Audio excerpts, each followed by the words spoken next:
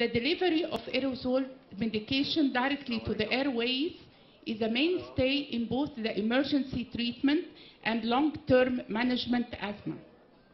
The combination of the right medication and the most optimal delivery device with the patient cognitive and physical abilities is our main target. لو شخصت صح وما اخترتش العلاج صح او ما شرحتش للعيان مظبوط او ما وصلوش مظبوط أنا ما عالجتش ال patient ده وما استفادش مني خالص.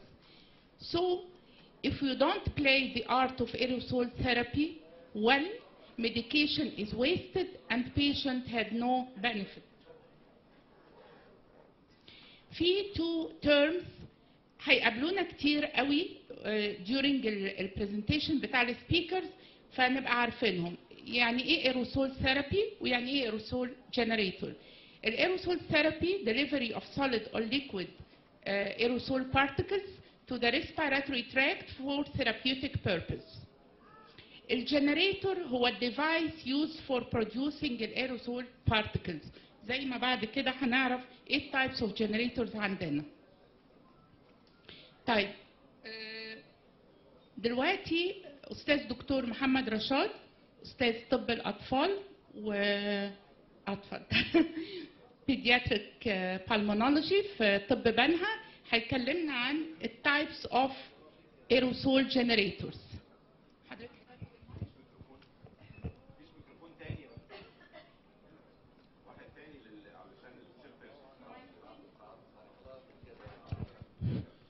على ما يجيب واحدة بسم الله الرحمن الرحيم. welcome all of you هو الحقيقة إحنا عندنا ثلاث أنواع اللي هم ال pressurized meter dose inhaler ال dry powder inhaler وال nebulizer. ال pressurized meter dose inhaler زي ما أنتم شايفين هو drug device وأنا عايز أوريكم الحاجات دهيت برضه عملي.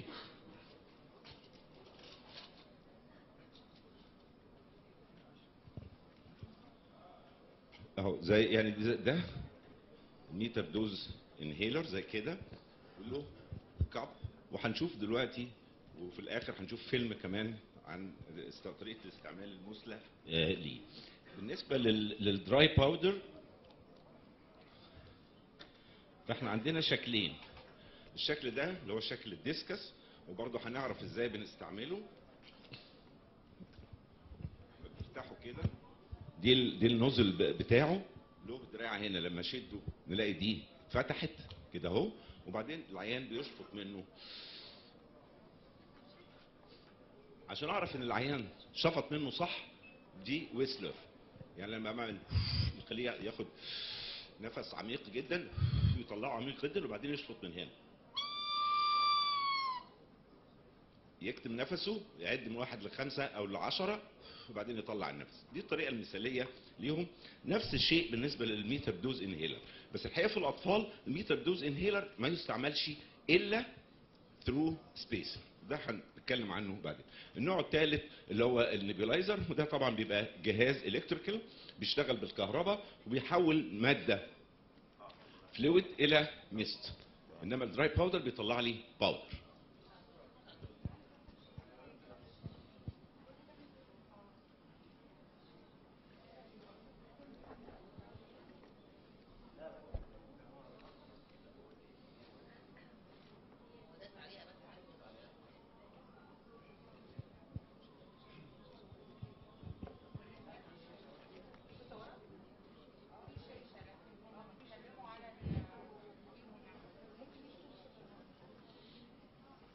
طيب على ما, ما تيجي ال- ال- الكهرباء. آه ده example لل spinhaler أو اللي هو بيبقى فيه dry powder inhaler بنشيل ال cap بنفتح كده. هنا في هتلاقي فيه مكان المكان ده هو بيتحط فيه كبسولة وبعدين بقفل تاني. كده أهو. وبعدين بضغط على الزرارين اللي بره دول هم. الكبسولة تتخرم. واسيب وبعدين يبتدي يشفط زي ما أنا عملت برضو في الجهاز الثاني ولو ال whistler بتاعه ال test لأن هنا ال negative pressure المطلوب لده غير ده. زي كده أهو. okay؟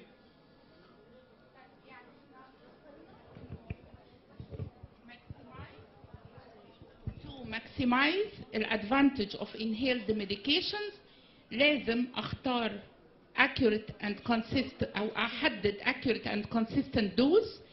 آه، لازم أختار أو أتأكد إن في transport transportation لل aerosol drug to the lung مظبوط through طبعا ال proper device minimize ال oropharyngeal deposition وال systemic side effect اللي بعد كده هنتكلم على كل device هنقول إيه مشاكلها وايه عيوبها وإنها تكون سهلة إن ال patient يستخدمها. وتكون cost effective عشان يقدر ال patient يعمل maintenance لاستخدامها.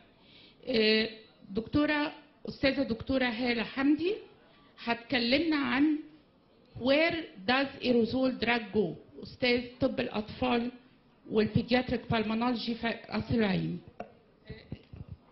شكرا أستاذة الدكتورة هالة واهلا بيكم. هو من الصورة كده آه، زي ما دكتور محمد رشاد سواء خدنا ال aerosol بال nebulizer أو خدناه بال pressurized meter dose inhaler أو بال dry powder inhaler أنا محتاجة أوصلها فين في الآخر؟ على ال alveoli.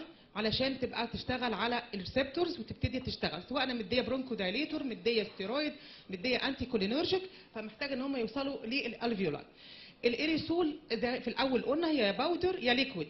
بتتحول بعد كده إلى آه، جاز أو mist عشان يوصل لي لل terminal alveoli زي الشكل ما بيورينا أنا محتاجة قد إيه ال particle size من 1 to 5 عشان يوصل لل small airways وال alveoli وبعد كده لو من 5 ل 10 هيبقى هيقف عند ال upper airway لو ال particle size 10 زي ما إحنا شايفين أو 15 هيقف عند ال oropharynx فده المكان الأول هيوصل فين وإزاي أوصل لل lung يبقى أنا محتاجة particle size من 1 to 5 مايكرومتر و- وممكن كمان أقل ساعات بيقولوا 1 to 2 استنى كده يا دكتورة أهي. طيب خدنا ال drug مظبوط. آه، ووصل وبال بال بال- أي device قلناه. طيب كم في المية بيوصل حتى لو أنا أخدته مظبوط بالطريقة الصح اللي هنعرفها كمان شوية؟ 10 تو 20% بس من ال inhaled drug بتوصل في ال lung والباقي 80 ل 90% بيبقوا بيبقوا swallowed في في آه، في ال mouth. وبعد كده بيبقوا swallowed في ال GIT absorbed على ال liver ويوصلوا لل systemic circulation next ده أنا واخدة ال device مظبوط ومنقياه على حسب سن الطفل زي ما هقول كمان شوية والطفل استخدمه كويس. زي ما إحنا شايفين اللون الموف اللي تحت ده الكمية من ال particles اللي وصلت أو من ال drug أو من الاريسول اللي وصلت لل lung نسبة قد إيه؟ وصلت maximum أكتر حاجة عندنا 40% وبقيتهم كلهم range من 10 ل 15 ال 40% ده اللي هو أحسن حاجة اللي هو ال pressurized metered dose inhaler مع ال valved اللي هو ال chamber valved holding chamber ده ونكون non-electrostatic عشان في بعض الأنواع اللي هي البلاستيك بتاعها بيبقى رديء ال particles بتلزق على ال surface فبالتالي مش هتوصل برضو في ال lung فده أفضل واحد هيوصل لي 40% الباقي ال range مختلف. كمان وصل قد إيه بقى في ال oropharynx الأحمر ده؟ زي ما إحنا شايفين أكتر حاجة لو استخدمت ال pressurized metered dose inhaler أو ال dry powder inhaler لوحدها. في جزء منه بيوصل بيبقى في ال exhalation وجزء بيبقى على ال device بس كده. شكرا دكتور هاني.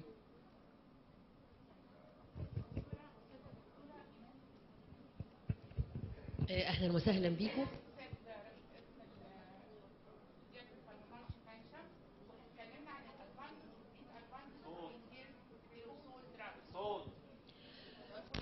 أنا هكلمكم عن ال advantages وال disadvantage of inhaled aerosolized drugs الحقيقة المعلومات دي يمكن إحنا كأطباء نعرفها.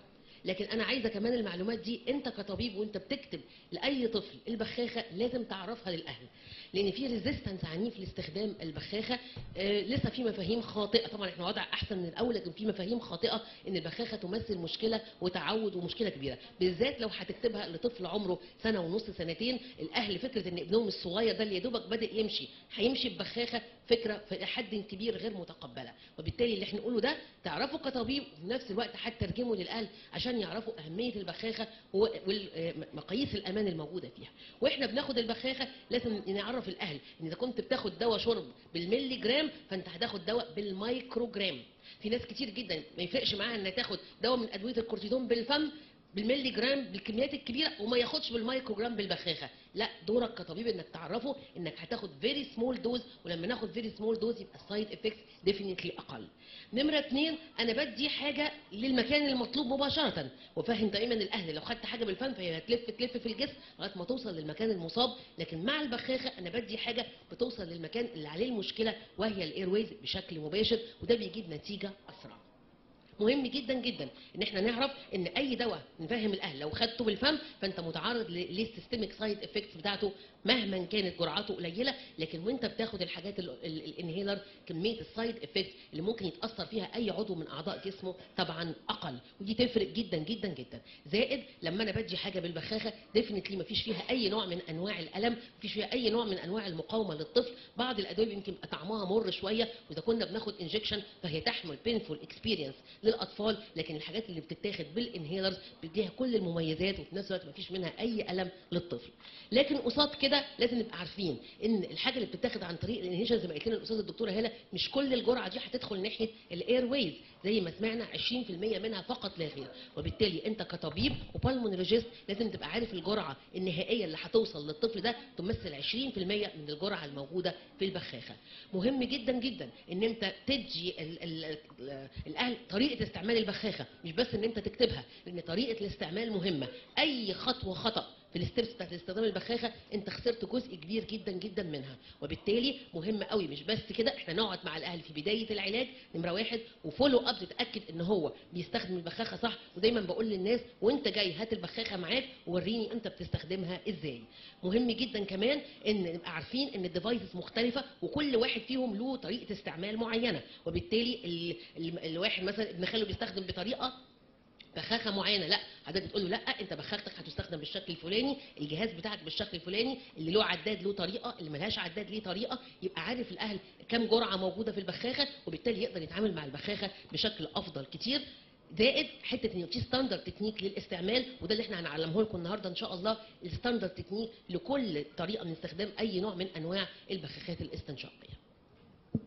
آه، بروفيسور أحمد عبد الرازق أستاذ pediatric pulmonology طب طنطا هتكلمنا عن ال hazard of aerosol therapy يعني آه هو طبعا قلنا مميزات كتير لكن أكيد زي أي حاجة له some hazard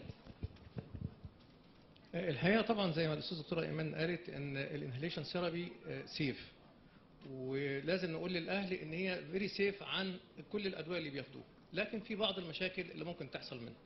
يعني لازم نعرف إن في systemic absorption للمواد اللي إحنا بنعمل لها inhalations فأول مشكلة ممكن تقابل ال patients ال side effects of the inhaled drugs يعني لو بياخد بيتا 2 agonist أبقى أقول له إن ممكن يحصل tachycardia أحيانا بيحصل tremors ممكن يحصل hypertension أحيانا بيحصل hypersensitivity reaction من any drugs حتى ال inhalation drugs ممكن يحصل منها ال hypersensitivity reactions ال anti drugs ممكن تعمل dryness ممكن تعمل tachycardia ممكن تعمل mydriasis أحيانا نتيجة ال inhalations من ال nebulizer ودي نقول للأهل أحيانا الأطفال بعد ما ياخدوا ال anticholinergic drugs الرؤية أحيانا بتتأثر شوية نتيجة ال mydriasis اللي بيحصل بال anticholinergic drugs المهم كمان في ال corticosteroids inhalations لأن عند الأهل إن الطفل هياخد inhalation corticosteroid هو بيخاف من ال corticosteroids وعارف إن هي بتعمل مشاكل.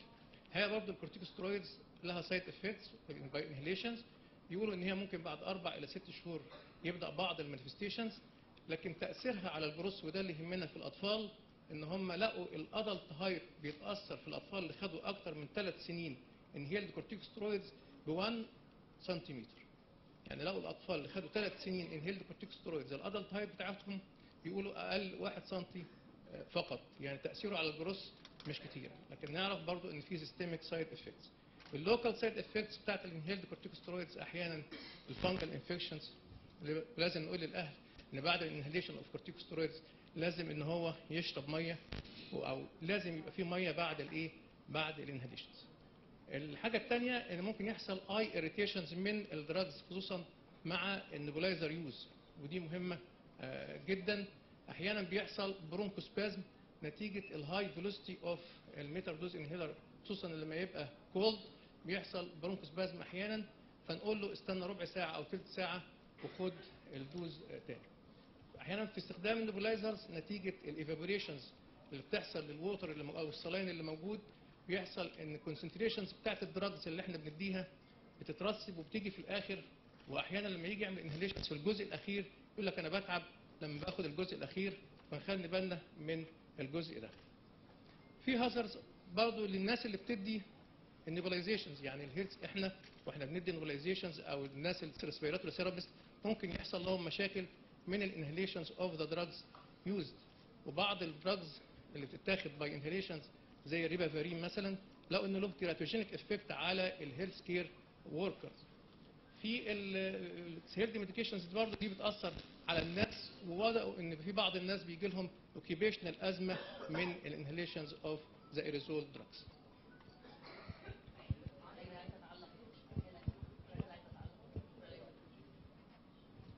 آه، طبعا آه، يعني نشكر حضرتك إن إحنا فعلا نقول ال hazards لأن في كمان hazards بتحصل مع ال anticholinergics اللي إحنا دلوقتي اتعودنا ك pulmonologist نكتبها يوم واحد. لكن الناس اللي مش pulmonologist ممكن يفضلوا يكرروا كتابتها للطفل أربع خمس أيام ورا بعض. من ضمن الحاجات اللي إحنا بنلاحظها ال high irritability للطفل. الطفل ده ما يعرفش ينام خالص ويبقى irritable وما يرضاش يرضع ويبتدي يبقى عنده fever ويبتدي يبقى عنده احمرار في وشه ويبتدي كأنه بالظبط الأم تقول ده بقى إذا كأنه اتجنن إيه اللي حصل؟ لأن كل ده side effects بتاعت الاتروبين أو ال Atrovent اللي إحنا بنديها للطفل هو المفروض يتاخد يوم واحد بس في ال acute asthma لكن يعني في مجموعة ناس هي بتستخدم كل أدوية ال pulmonologist لكل الناس. فتلاقي الطفل ده بقى ابتدى يبقى irritable جدا و crying و tachycardic 200 فما فوق و feverish. وابتدى يبقى كل side effects اللي هي فاكرينها إحنا كنا بناخدها اللي هي as red as beet as mad as مش عارفة إيه as hot as إيه فدي كلها بتبقى تحصل في ال atropine therapy لما بنقعد نكرر. فهو المفروض إن إحنا recommendation بس just one day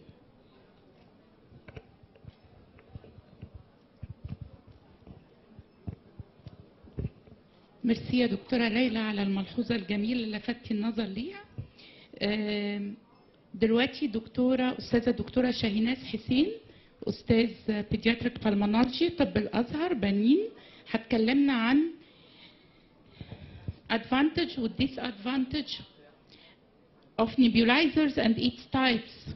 okay اتفضلي يا دكتورة شاهيناز يعني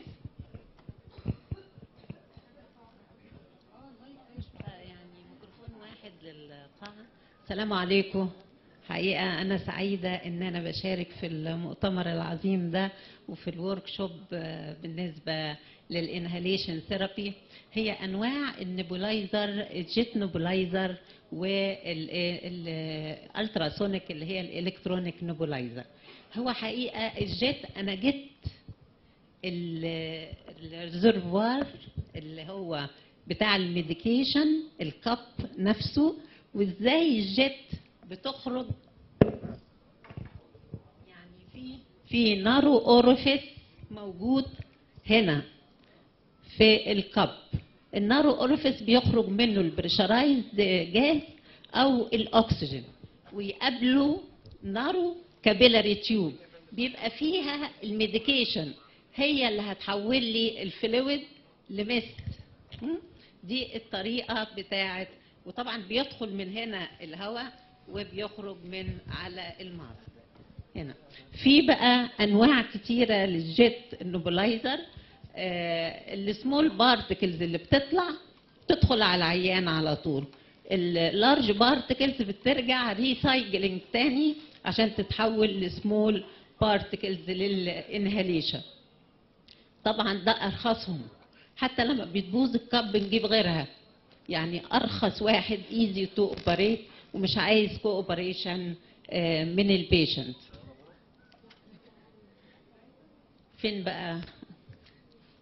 هو ده فعلا ال nebulizer ده ال generator نفسه اللي هيخرج منه ال pressurized air هو مفروض دكتورة هالة قالت حقيقه إن إحنا هنشغله. هتلاقوا صوته عالي جدا. أنا بقى جبت جبت لكم هدية.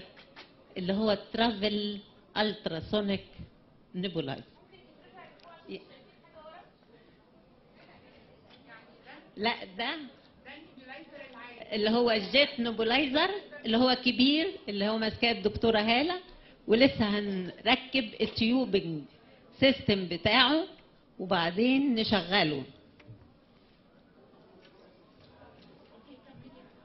طيب.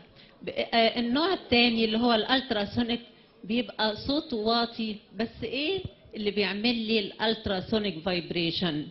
ال electricity power. هو هو بيكون من electricity و transducer. ال transducer هيوصل لي الفايبريشن للفلويد بهاي فريكوانسي فايبريشن. الفايبريشن دي هتعمل لي ال aerosol mist. آه، طبعا هو كبير. أنا ما أعرفش الدكتورة هالة جايباه ولا لأ. آه، ال ultrasonic. آه ده ده الصغير بتاعه.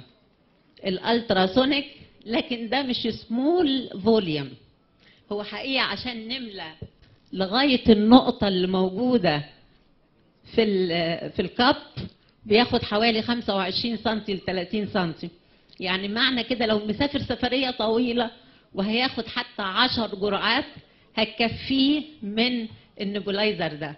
في battery rechargeable أهو مكانها في الوقت من ورا. دي rechargeable يعني ممكن تبقى charged في البيت وتقضي معاه لغاية 12 ساعة في السفرية أو ياخد زي ما يعوز من ال nebulizer هو حقيقة؟ آه. ده صوت ال jet nebulizer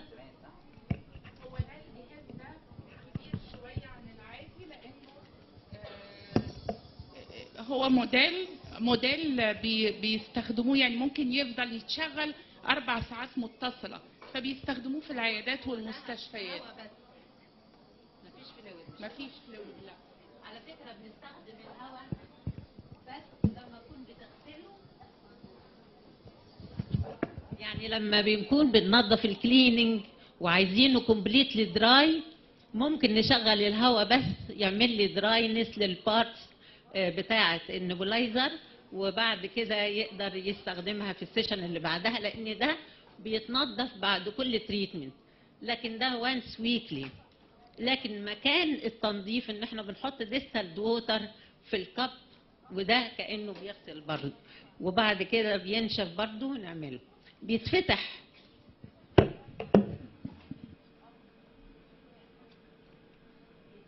زي ما أنتم شايفين في مروحه في مروحة. المروحة هي اللي بتوصل الفايبريشن لل لل للانهاليشن نفسه بتاع العيان. وهنا بنحط الدواء بنفتحه.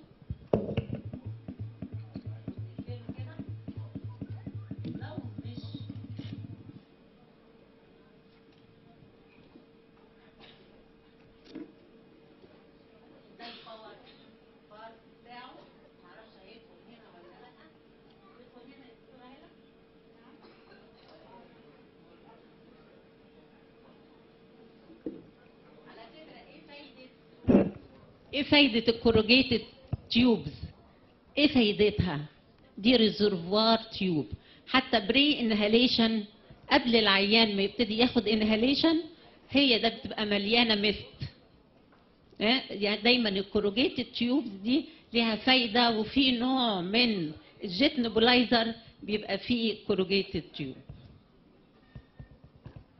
فإحنا لو وصلنا أهو، وهو قاعد دي دي القعدة بتاعته مش مشكلة. وهو قاعد في العربية بيقدر ياخد آه، لو شاحن البطارية. لكن ممكن آه، وصلت؟ آه وصلت.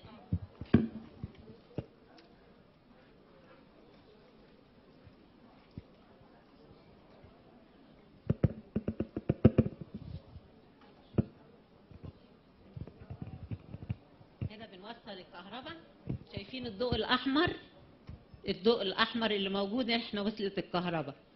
من on و off بنفتح بس لازم نفتح من تحت في برضو lock وبنعمل on وهنا ال nebulization يعني عندك في زرارين واحد on و off وواحد لل nebulization بتاع ال nebulization ده يا إما بيعملها powerful يا إما يعملها weak ال nebulization لو weak هتاخد وقت أطول. لو powerful هتاخد وقت أقل؟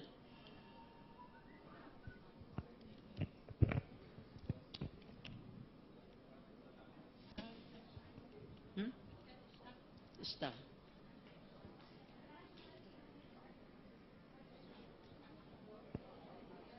أيوه. ده ال ultrasonic. سامعين له الصوت؟ غير الصوت العالي بتاع ال jet nebulizer دمو مع ال inhaled steroid. لا وكمان السسبنشن البادزونايت البالميكورد. آه آه البالميكورد حقيقة ما بيبقاش efficient معاه. لكن طبعا مع ال Ventolin ويتحط عليه Atrovent وكل حاجة لكن هنا طبعا بيبقى Ventolin. وزي ما أنتم شايفين ال large particles لو بصيتوا بتنزل تاني to be recycled برضه في ال في ال jet nebulizer زي ال ultrasonic nebulizer آه، ثالث نوع ال mesh nebulizer ده حاجة جديدة الحقيقة خالص لسه منزلينها الشركات في مصر. حاجة جديدة في مصر لسه نازلة. اتفضلي يا دكتورة شاهيناز هو ورانا الحقيقة استخدامه آه، اتفضل. هو ال mesh دي يعني حساسة جدا. حتى بيقول لك لما نيجي ننضفه لو لمست ال mesh ال unit كلها هتبوظ فهو very sensitive لكن highly efficient دي بقى ال mesh دي هي.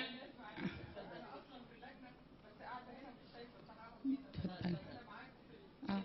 ال- ال mesh دي حاجة مش عارفة بقى هتقدروا تشوفوها حاجة so fine كده هنا في في شبكة صغيرة قوي في المدخل بتاعه. مفروض إن هو البطارية بتاعته ليثيوم فبيتشحن حاجة زي الموبايل كده صغير قوي. هو كده إحنا حاطين فيه fluids وده اشتغل okay؟ برضو ما فيهوش صوت. آه. آه، إيه فايدة ال mesh بقى؟ دي بتخلي ال particles كلها قد بعضها.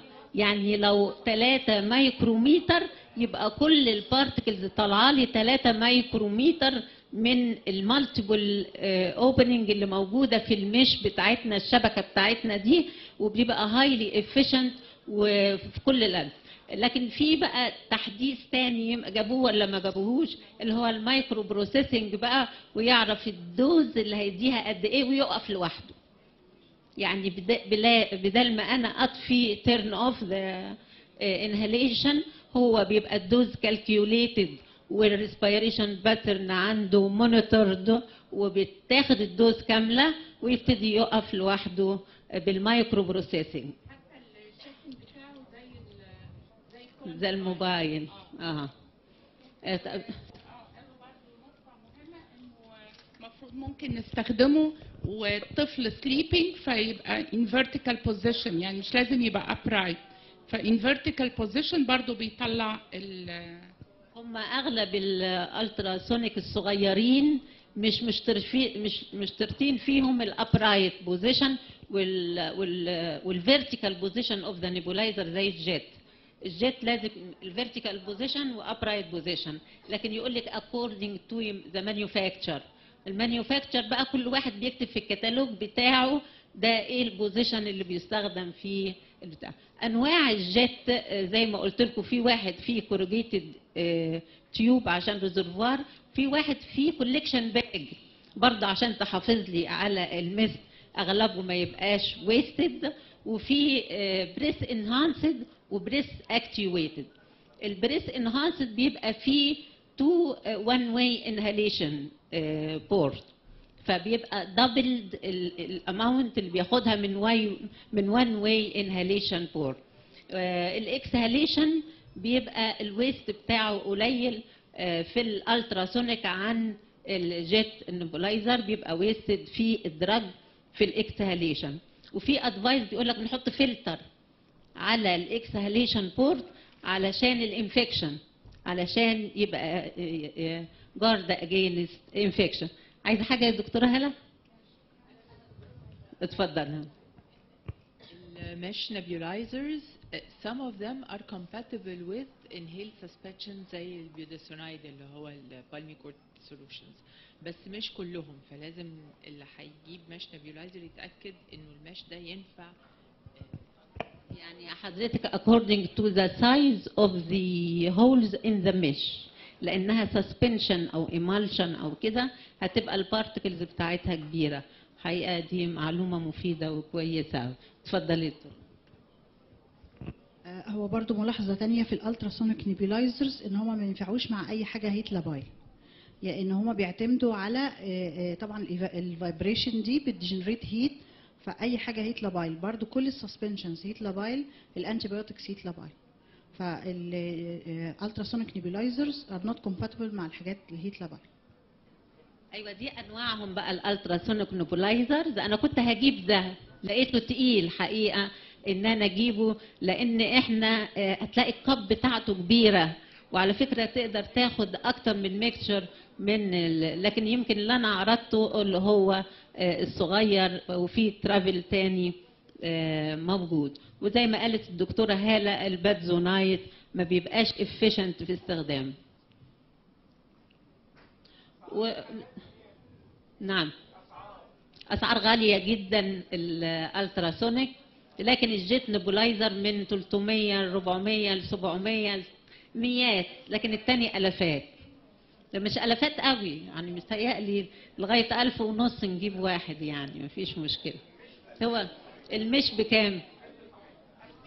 2300 ال mesh الدكتور آه، آه، أحمد عبد الرازق بيقول حقيقة ها؟ زي ما أنتم عارفين ال advantage وضحت جدا ال advantage بتاعة ال nebulizer وقالتها الدكتورة إيمان حقيقة إن إحنا نستخدم أي نوع من ال drug آه، سواء anticholinergic أو beta agonist وممكن نخلط نحط نوعين من ال drug ومش عايز cooperation ومش عايز hold the breath زي ما قال الدكتور محمد إن هو و عد لغاية إيه؟ 10 اللي هو مع ال pressure dose inhaler لا بنسيبه تو ال inspiration بتاعه أو ال respiration يبقى normal لو cooperative بنقول له ياخد كام نفس deep inspiration وحتى آه، كان واحد سأل سؤال هل العياط بتاع الطفل بيأثر على ال amount of inhaled ريسول أيوه بيأثر لأن اكتره في ال expiration إحنا عايزين good inspiration عشان يقدر يستفيد منه كله. وال disadvantage يعني حقيقة موجودة برضو لل nebulizers ال time بقى من دقائق يعني من خمس دقائق ل 25 دقيقة. لكن ال time في ال pressure ال pressurized dose inhaler بالثواني. يقول لك خمسة ل 10 ثواني. واحد لغاية عشرة لكن ده كبير. وبعدين عايزين ساعات ال cup بتبقى صغيرة على ال mixture of drug لازم electricity أو battery تبقى موجودة أو pressurized gas. ال performance كل ما يخترعوا جهاز لازم ال performance بتاعه بيبقى مختلف according للموديل اللي طالع وزي ما وريتنا الدكتورة هالة ال mesh nebulizer قد إيه very simple و efficient حاجات جديدة كلها. ال cleaning require ده حقيقة مع ال jet بعد كل treatment ومع ال ultrasonic once or twice week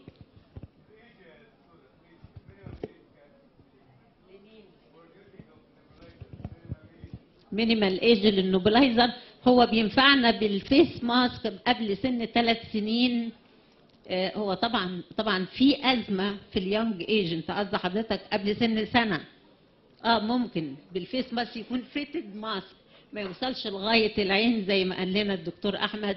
ال eye irritation وال affection of the eye لو إحنا استخدمناه. لكن ال mouthpiece كل ما بقى الطفل cooperative بعد سن خمس سنين ممكن نخليه يستخدم ال mouthpiece لكن ال nebulizer بيستخدم وال dose حتى يعني مش مختلفة between the age لكن ال beta agonist حقيقة أنا فاكرة إن ليها dose point point 15 مللي جرام per كيلو في في ال young age وعشان كده ما ياخدوش نص سنتي من الفنتولين ممكن ياخدوا أقل من 3 من عشرة من السنتي عشان ال irritability وال tachycardia دلوقتي أستاذ دكتور محمد رشاد هيكلمنا عن ال pressurized metered dose inhaler والحقيقة دي من ساعة ما آه، اخترعها واحد آه، اسمه جورج ميسون في 1955 هي بقت ال most common aerosol generator prescribed for patient with asthma هنتفق أو نختلف بقى هي بتستخدم لوحدها ولا مع spacer؟ لكن هي أشهر حاجة آه، بتستخدم. اتفضل يا أستاذ دكتور محمد.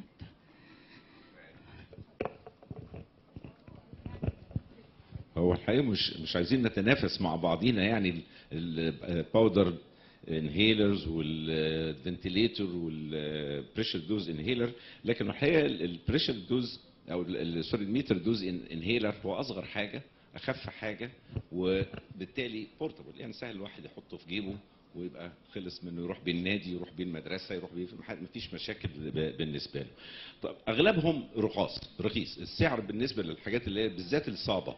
واللي إحنا بنستعملها ال corticosteroids اللي إحنا بنستعملها كتير دي رخيصة جدا. لكن يمكن اللي بيبقى فيهم LABA اللي هو ال long acting beta 2 agonist هم دول اللي بيبقوا غاليين شوية لكن برضه نسبيا أرخص قوي قوي من الحاجات ال- التانية.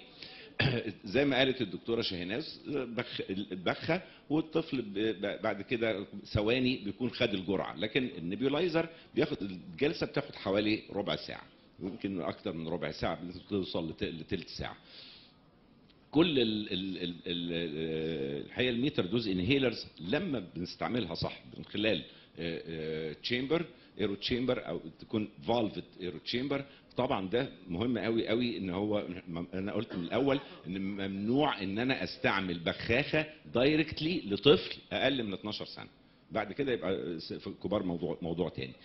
طبعا هو ميزتها برضه إنها بتطلع لي fixed dose كل ال dose زي بعضها؟ إلا لو العيان مر- مرجش البخاخة فال dose هتختلف. لو وقعت منه ورجع شالها تاني ال dose هتختلف. فهنا دي برضو من الحاجات ال ال الحقيقة ال advantages وال disadvantages هنا هنا أنا عندي حاجة مهمة قوي بالنسبة لل disadvantages اللي هو ال need to hand breath coordination اللي هو إيه؟ يعني إحنا بنقول إن هو يضغط على البخاخة وهو بياخد النفس. ده بالنسبة للكبار. لكن بالنسبة للطفل اللي إحنا هنستعملها بال spacer ده ممكن إن هو ياخد نفسه بالشويش ويطلعه بالشويش. برضه محتاجة لكن مش محتاج الايه ال coordination ده هو. ال need for special breath and breath holding زي ما إحنا قلنا إن هو لازم ياخد نفس جامد يطلع النفس على الآخر وبعدين يبتدي يشفط من ال- spacer وبعدين يطلع. لو ب mask هتبقى العملية آه، أسهل وده بيبقى في الأطفال الصغيرين. ال medicine may hit inside the mouth and throat. زي ما قالت الدكتورة إيمان في جزء ب- يعني لو أكتر من 15 مايكرومتر اللي هي ال size of the particle هتلزق في ال- في الفم. أك- من 10 ل 15 هتلزق في ال nose. أقل من 5 ل 10 هتلزق في الإيه؟ في ال pharynx ال ideal بقى من واحد لخمسة. ماي- مايكروميتر. طب أقل من واحد. أو كده أقل من واحد هترجع تاني في النفس يبقى برضه مش مش هاخدها. فيبقى لازم أنا ألاحظ ال- ال- النقطة دي زي ما قال الدكتور أحمد ممكن يحصل paradoxical bronchoconstriction if the uh, fluid أو if the drug is bronchodilator ممكن يحصل برضه ده. disadvantage برضه included. They زي ما قلت إيه انها لازم تكون مجموع كويس ما تقعش منه. high initial velocity طبعا البخاخه لو استعملتها لوحدها كده بيبقى طالع ال- ال- ال- ال mist طالع منها بسرعة بقوه جدا. السرعة ده تخليك برضه يبقى stick لل mouth أو أو ال nose أو ال- pharynx طيب البخاخه أعرف منين إنها فضيت؟ يعني ال discus والحاجات الثانية فيها عداد. لما دي ما فيهاش عداد. يعني أغلبهم ما بيبقاش فيهم عدادات. طب أنا اعرف أعرف منين؟ لو رجعها كده أهو ممكن إنها ترد برضه لكن هي فضيت. فأقدر أحطها في مية. اشوفها لو عامت تبقى آه، فضيت. لو غطست تبقى آه، طبعا إحنا عارفين إن ال repellent اللي فيها أو ال propellant بيبقى ضار ممكن بال global warming أو بالأوزون. factors affecting pressurized metered dose inhaler أحيانا شايف المثلث هو في ال patients ال formulation نفسها وال device أنا هنا أول حاجة طبعا ال patient ال patient ال age عشان أحدد ال dose أحدد ال drug أحدد ال way اللي هحدده له بيها الحاجة الثانية اللي هو ال device ده هو اختار له ال device المناسب له. الحاجة الثالثه ال training لازم أكون ممرنه وعامل قدامي إن هو بيعرف يستعمل الحاجة ديت. ويمكن من ضمن الحاجات اللي وريتها لكم اللي هي ال whistler عشان اخليه يعرف ياخد نفس يصفر. آه أعرف إن هو فعلا بياخد نفس آه، صح ولا لأ؟ طبعا ال socioeconomic standard هيقدر يشتري الدواء ولا ولا لأ؟ لأن لو مش هيقدر يشتريه يبقى كل الكلام اللي إحنا بنقوله ده مش نافع ومش مش هيتنفذ.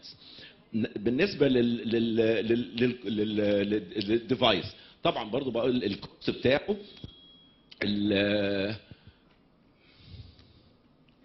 ال ease of use يستعمله يقدر يستعمله كويس يعني بسهولة ولا لأ؟ كل جهاز وله مم- مميزاته لكن إحنا بنقول بالنسبة لل metered dose inhaler لازم يستعمل من خلال ال aero chamber. ال formulation نفسها يهمني ال particle size لأن كل بنقول كل ما يكون ال particle size أكبر كل ما يحصل sticking واضح إن اهو لو بص لو بصينا ال big particles هتلزق في الإيه؟ في ال pharynx وفي الاطفال ممكن تبقى في ال nose وال mouth وتعمل لي بقى candidiasis وتعمل لي infection جزء كبير منها هيبقى swallowed ينزل على ال GIT ويعمل لي side effects ال ال ال آه، أكتر من من آه، يعني ما بين واحد وخمسة هو ده ال ideal اللي هو ممكن ينزل. أقل من واحد زي ما قلنا بيبقى re-exhaled تاني. فدي الحقيقة مميزه ال- أنا عايز بس أضيف نقطة الدكتوره آه، آه، إيمان قالت لنا آه، الحقيقة العيان بتاعنا إحنا عندنا inhalation phobia عندنا steroid phobia فانا لما أقول له إحنا هي قالت نبقى فاهمين إحنا لازم نبقى فاهمين طبعا لكن انقلها له إزاي؟ الحقيقة أنا بقولها للناس بقول لهم الفرق ما بين ال inhalation therapy وما بين الاورال كلمتين السرعة والجرعة. السرعة أقول لها مين أسرع؟ اللي هيقعد في المعدة شوية وفي الامعاء شوية زي الأكل والشرب أدي لها مثل. أو بعدين يقعد في الكبد شوية وبعدين يمشي في الدم وبعدين يروح ولا اللي هنحطه على طول في الشعب الهوائية انت عايزة الأسرع ولا الأبطأ؟ تقول لي الأسرع. أقول لها الأهم بقى الجرعة.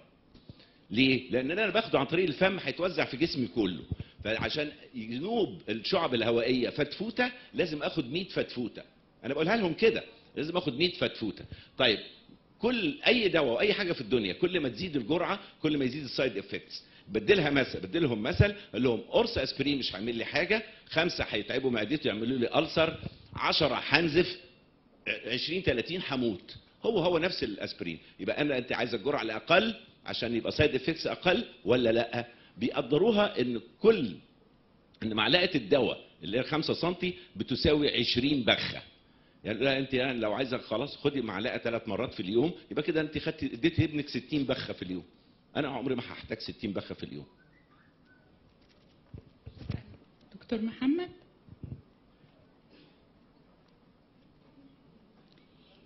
طيب.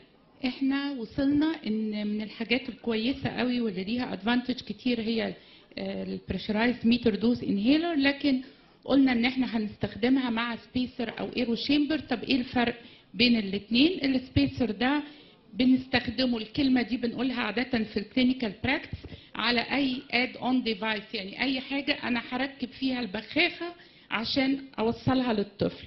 لكن actually ال devices دي بتتقسم. ل spacer و holding chambers أو بمعنى أدق valved holding chambers valved holding chambers معناها إنه device معاه one way valve to contain the aerosol until inhaled and direct exhalation away.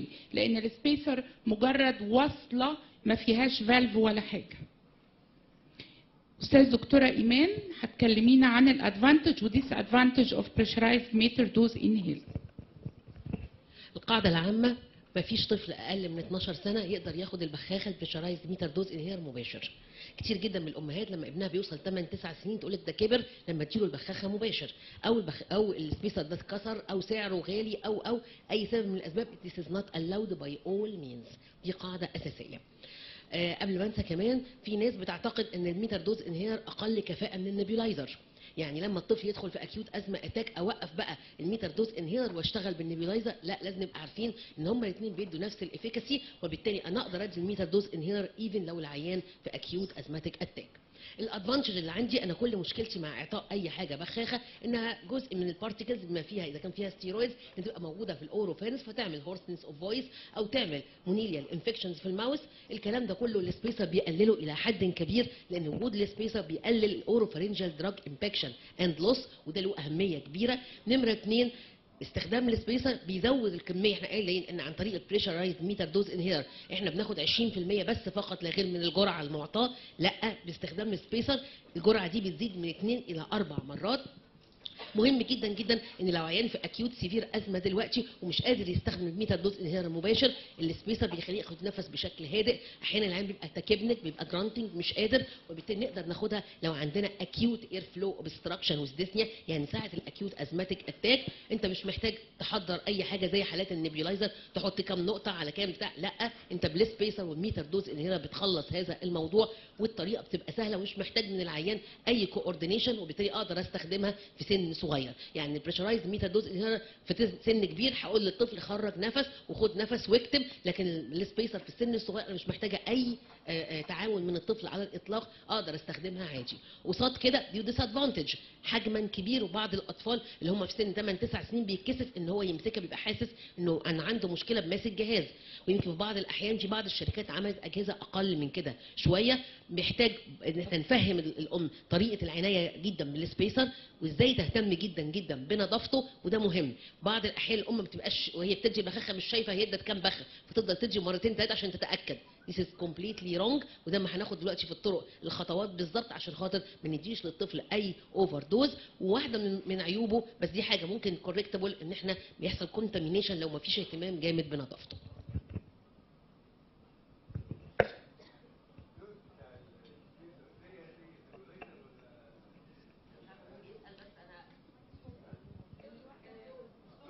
كلمينا كمان يا دكتورة إيمان على ال steps for correct use مع ال holding chambers اللي معاكي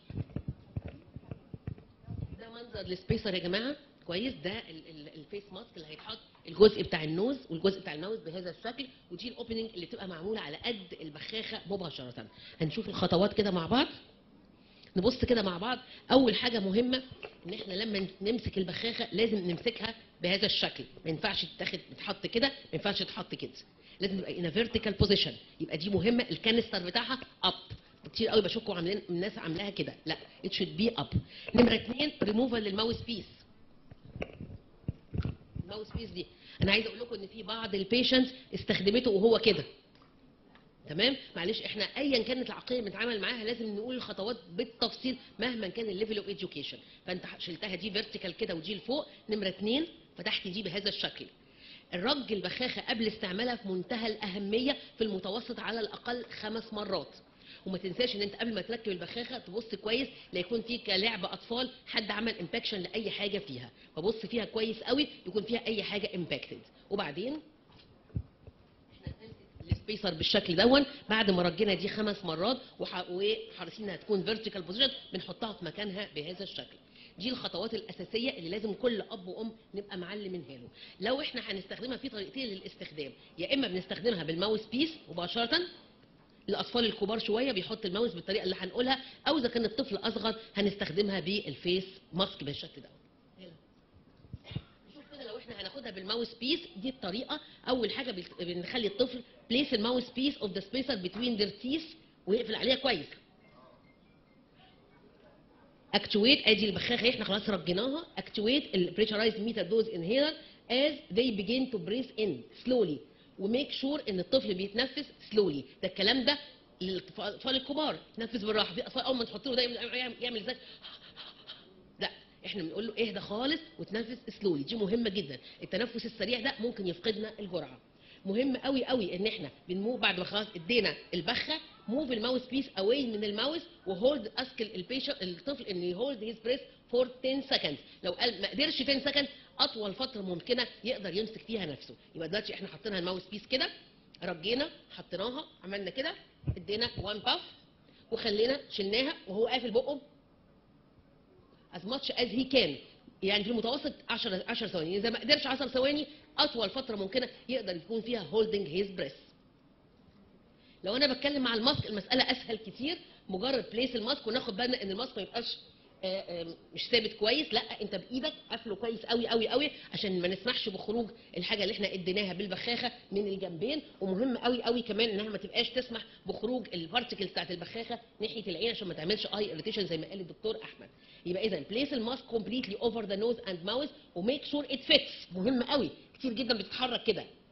اثنين hold the mask in place وحطينا البخاخة بالشكل اللي إحنا قايلينه بهذا الشكل كده تماما. hold the mask in place the child takes 6 normal breaths. إذا هو يقدر خليه الأول قبل ما تبدأ تبخ خليه ياخد الأول نفس وبعدين بعد كده بخ بخة وخلي الطفل ياخد ما يعادل ست مرات تنفس أو اللي إحنا بنسميها كده بال- بالدارج. خلي عد أنت حضرتك من واحد لغاية 20 من واحد لغاية 20 هيكون في الحالة دي ما يعادل من ستة إلى سبع مرات. اتنفس فيهم الطفل. tidal breathing مش مطلوب إن هو ياخد breathing عميق. tidal breathing عادي. إحنا كده خلصناها. ريموف ذا ماسك فروم تشايلد فيس لو أنا مكتوب للطفل ده بختين هننتظر من 10 ل 15 ثانية قبل ما ندي البخة الثانية وده خطأ كتير قوي بيحصل إن الأم بتدي بخة وبعدين هوب بتدي البخة الثانية لو مكتوب له بختين كل ست ساعات مثلا يبقى بخة. خلصتها تمام عديت من واحد لغاية 20 استنى من 10 ل 15 ثانية وبعدين ادي اضغط تاني وكرر نفس الخطوات. مهم جدا إن كل مرة بيتعمل بنتبع نفس الخطوات دي كلها.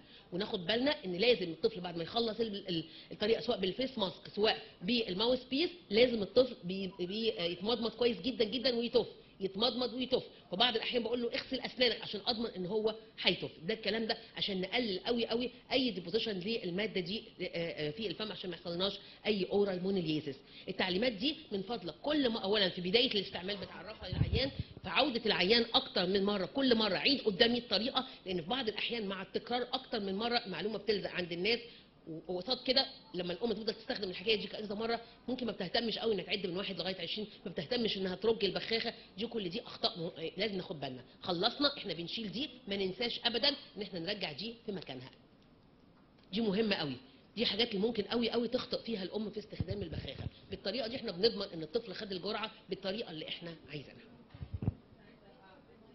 To avoid reduced أو no dosing ensure طبعا إن هي راكب كويس قوي على ال spacer. مهم إنك تشيل ال- ال cap. ثلاثة مهم جدا إن ال spacer وال pressurized metered dose هنا بنهتم جدا جدا بنظافتهم ودي كل حاجة من الحاجات دي الشركة المنتجة ليها بتبقى حاطة ال instructions فيها بشكل كامل.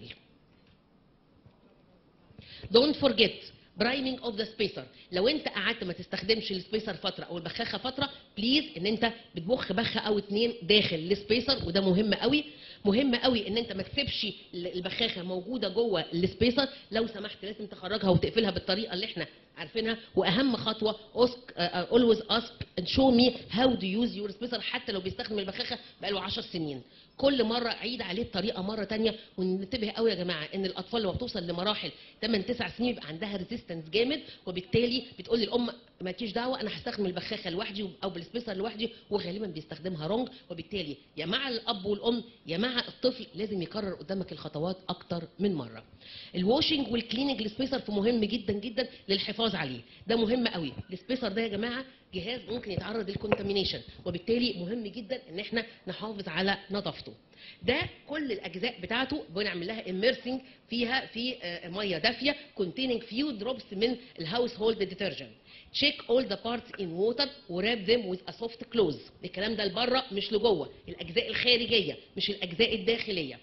Leave the parts soaking لحوالي آه، ربع ساعة and take out من ال water ميه بتكون ميه دافيه. don't rinse or dry rub ما تدخلش أي حاجة جواها تمسحها. مهمة جدا. لا تدخل فرشة تمسح ولا تدخل حاجة تنشف. الخطوة دي بتفقدها. عم- بالظبط. دي مهمة جدا يا جماعة. ممنوع إن إحنا نمسح أو نستخدم فرشة للتنظيف جوه. دي بتفقدنا جزء كبير من كفاءة ال spacer. rinse soapy water out of the mouthpiece طبعا تتنضف كويس قوي. place parts on clean towel أي كلينكس أو أي فوطة. تمام؟ and air dry overnight بعض الأمهات بتستخدم زي بتاع السشوار في التنظيف. no don't do this كل الكلام ده كله لازم يتعمل at least once per week مهم قوي دايما بقول للأم اعملي حسابك إن يوم الجمعة you are going to do this علشان خاطر ما تنساش.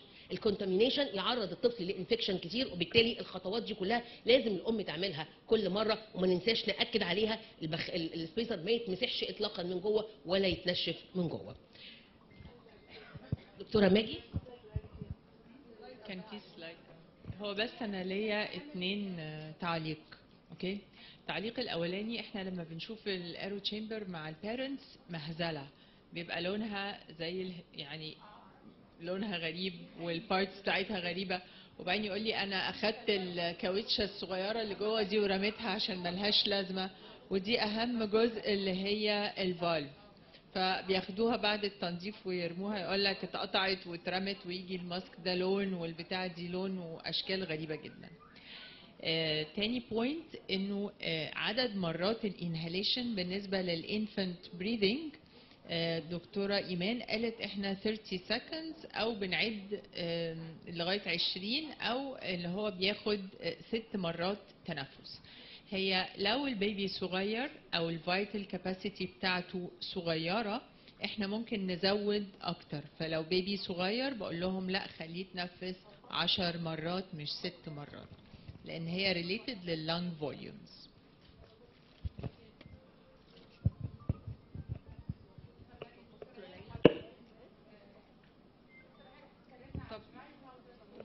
comment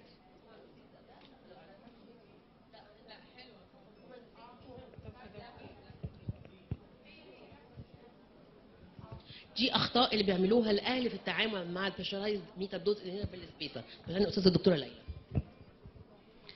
آه، طبعا أنا معلش اتفاجئت بالموضوع ده دلوقتي حالا بس طبعا أنا هنتكلم كده عموما على التجارب بتاعتنا مع ال patients طبعا من أخطر الحاجات إن الدكتور نفسه هو اللي يكون مش عارف ال spacer بيستخدم إزاي. بيكتبوا له روشتة للطفل ويقول له روح خد ال spacer. فدي أكبر خطأ وأكبر جريمة ممكن نعملها. إن ده مش دواء يا جماعة هناخده بالبق. إحنا لازم أكون عارفة إزاي administration بتاعه علشان أقدر أوصفه للطفل. ولو أنا ما أعرفش يبقى أنا أعرف لازم أعرف. ما ينفعش إن أنا أبعته للصيدلي أو لحد تاني يقول له إزاي. أو إن أنا أبعته له في روشتة وأقول له آه، خد روح خد الدواء ده. دي أول أكبر خطأ طبعا. الأخطاء اللي إحنا بنلاقيها مع ال- مع الآباء كمان إن هو آه، مع عدم إن أنا شرحت له صح هلاقي ممكن إن أنا مثلا ممكن ألاقي واحد مكتوب له ال Diskus مع space الاثنين مع بعض. مكتوب له حد كتب له Seretide وراح مديهوله ال Seretide وراح للصيدلي راح مديله ال Diskus مع ال spacer جاي لك يقول لك طب هناخدهم مع بعض إزاي دول؟ فدي شفناها الأخطاء الأخرى إن زي ما الاستاذه الدكتورة إيمان قالت ان أنا ممكن آه، واحد يستخدم ال meter dose inhaler بيبخ جوه الغطا بتاعه. فيجي لك بعد شهر هو الغطا مليان الدواء وهو بيحشر الغطا أو يحطه في بق الطفل ويديهوله كده وهو مقفول.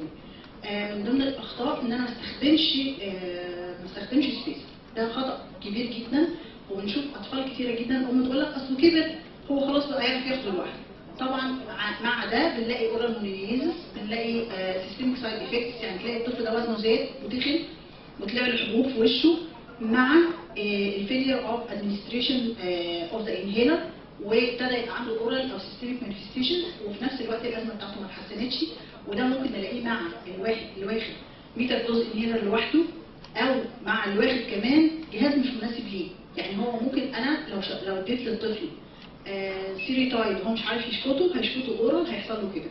لو اديته آه Turbuhaler اللي هو الجهاز اللي هو الطويل ده ده المفروض في سن 12 13 14 سنة واجربه مع الطفل أشوف بياخده ولا لا. لو inhalation ال flow بتاعه آه أقوى من أي حاجة ثانية يعني هو دبل ال Diskus فبالتالي تلاقي طفل عنده 12 13 سنة مكتوب له Turbuhaler وبرده عنده systemic side effect وعنده صوته رايح لأن هو عنده يبقى عنده vocal cord dysfunction ووزنه زاد ومع ذلك الأزمة بتاعته ما اتحسنتش فكل دي آه، أخطاء. طبعا من ضمن الأخطاء آه، آه، الثانية إن أنا في في ال nebulization قلنا أخطاء قبل كده إن إحنا ال dose ال dose دلوقتي لو أنا بدي لطفل أقل من خمس سنين nebulization أنا محتاجة أدي 2.5 مثلا مللي جرام بنتولين. لو أكبر من كده بديله 5 مللي جرام لو أنا عملت equivalent dosing لده بال spacer هديله كام بخ تفتكروا؟ حد منكم جاوب يا دكاترة. كام بخ كام 8 تمام؟ حد تاني يقول حاجة تانية؟ تمام؟ أنا دلوقتي عشان أعمل dose equivalent لأن nebulization في الطفل أقل من خمس سنين up to ممكن 6 times 6 بخات في المرة الواحدة. ولو عملت equivalent dosing لواحد فوق ست سنين ممكن أديله 12 بخ. تمام؟ فده ما ينفعش بقى أنا أقول إيه؟ أصل أنا جربت له البخاخ مع ال spacer ما نفعش. طب بتديله كام dose؟ بالظبط. هو الدليفري أعلى بس هو ال equivalent dosing اللي مكتوبة في ال acute أزمة مثلا هي دي ال equivalent dose هو ست بخات و12 بخ من 10 من 6 ل 12 آه، اللي هم فوق ست سنين. ف- فما أنا ساعات الناس تيجي تقول لك أصل البخات ما نفعش مع الجهاز. طب أنت اديت كام بخ يقول لك اديت بخه واحدة. طب هي بخه دي equivalent لل nebulizer لا طبعا. فال equivalent dosing لازم نكون حاسبينها كويس ال timing بتاع البخاخات لازم نكون حاسبينها طبعا كو- آه، كويس إحنا بنتعامل مع acute attack ولا بنتعامل مع ongoing في ضمن ال ongoing ازمه ناس برضه كتير قوي بتدي ال nebulization تقول له روح خد ال nebulization كل أربع ساعات. طب يفضل ماشي لغاية قد إيه كل أربع ساعات؟ ممكن تيجي بعد شهر طفل جاي لك كل أربع ساعات بياخد ال- الفنتولين طب أنا دلوقتي أنا أحكم على إزاي على الطفل ده هو controlled ولا لا؟ أنا بحكم بال control بإيه؟ وقد إيه احتاج bronchodilator في خلال الأسبوع. فلو هو محتاج ثلاث مرات في خلال الأسبوع bronchodilator أنا بقول هو كده مش controlled.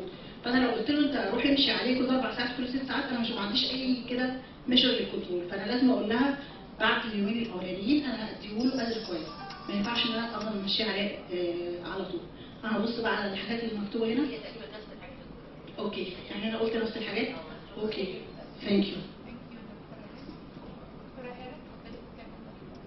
هنتكلم على آخر واحدة. هي slide ال types بتاعت ال dry powder اللي هي دكتورة هيلا بعد إذنك. ال types بتاعت ال dry powder inhaler في single dose dry powder inhaler هي single dose زي ما إحنا شايفين في الجهاز. ووريها لنا الدكتور محمد رشاد. دي مش لسن الأطفال.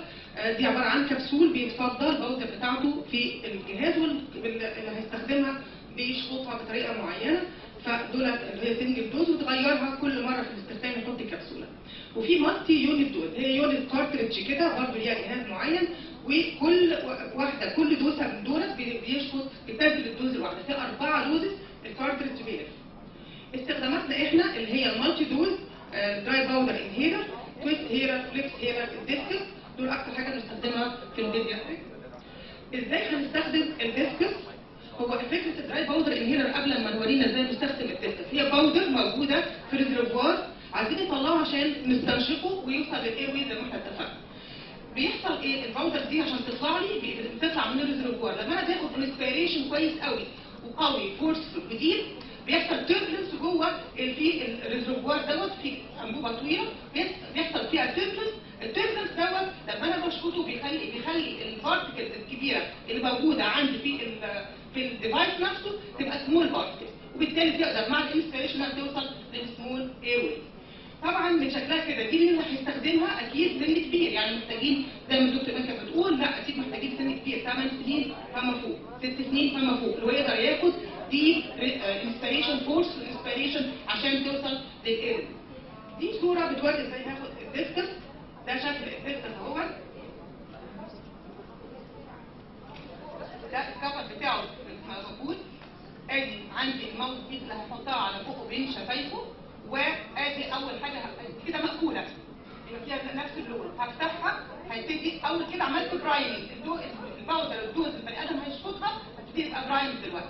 بعد كده هقول للعيان شفايفه دي مش powder هيبتدي يقول له حطها كده بي- بين شفايفك؟ كده.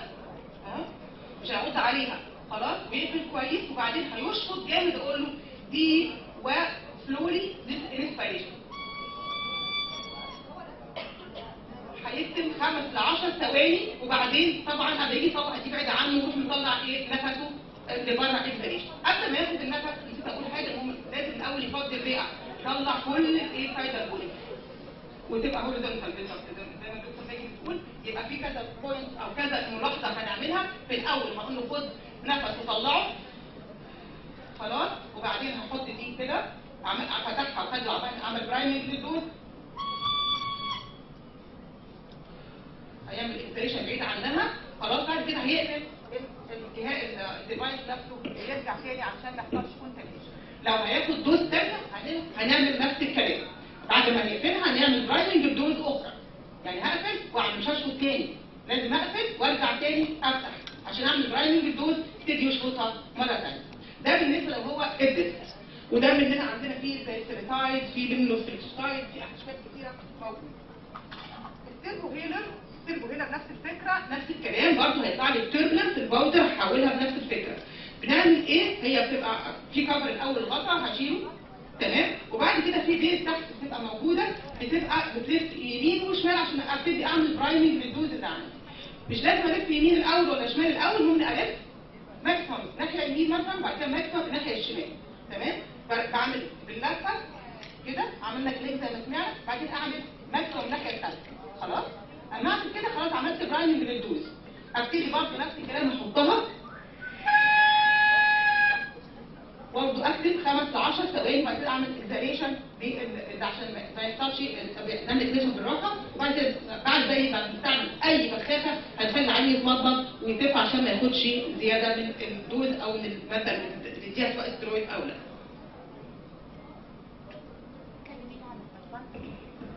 ال advantage بتاعت ال dry powder inhaler هي زي ما إحنا شايفين كلها حاجات small portable ال dose بتبقى محدودة متحدده من الأول مفيش overdose فيها لو أنا هنديها مظبوط. ما فيهاش propellant زي ال dry زي ال meter dose inhaler ما فيهاش side effect على البيئة. ال- آه، بتبقى مع ال breath مع ال inspiration مظبوطة.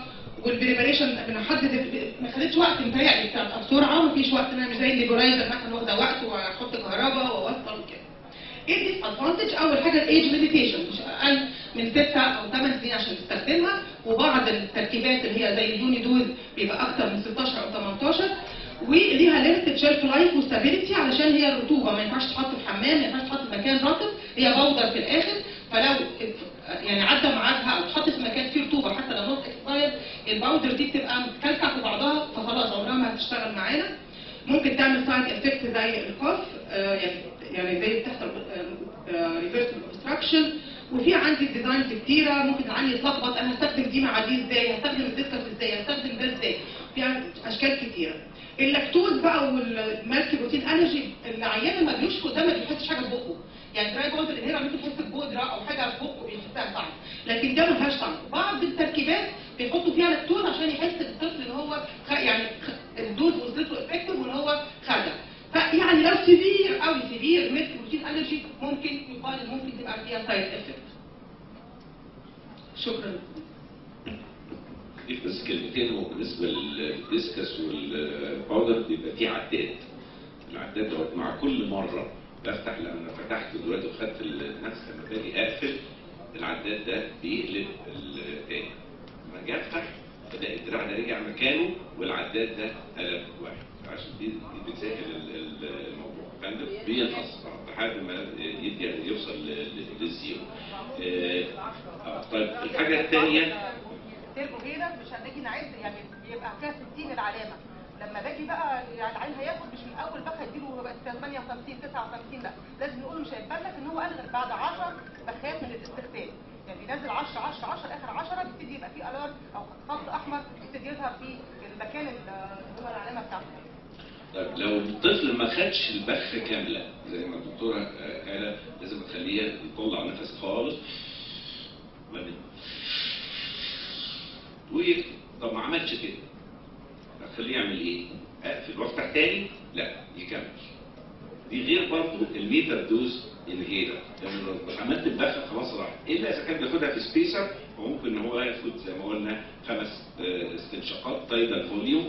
يعني normal breathing في الحالة دي هيبقى خلص ال- الكمية. وإحنا قلنا إن direct الدماغ is convenient دلوقتي آه، أستاذ دكتور محمد عبد الرازق آه، sorry أحمد عبد الرازق هيكلمنا عن ال ال available preparations للبخاخات اللي موجودة في مصر. ومتهيألي مهمة قوي بقى اجهزوا بتليفوناتكم عشان آه، ال slide دي الصور دي مهمة بالأسعار حاططها يعني بذل فيها مجهود الحقيقة.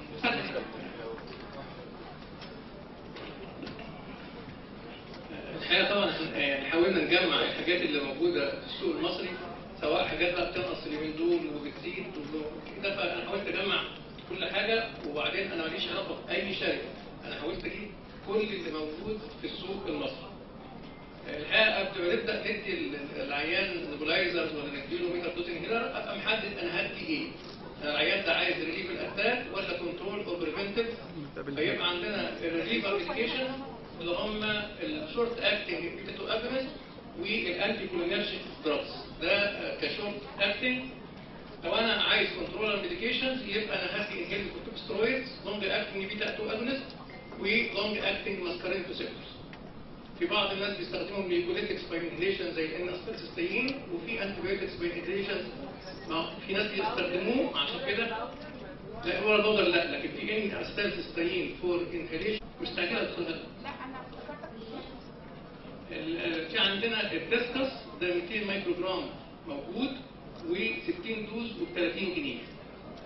ال Farcolin respiratory solutions طبعا ده كلنا عارفينه وبنستخدمه كتير.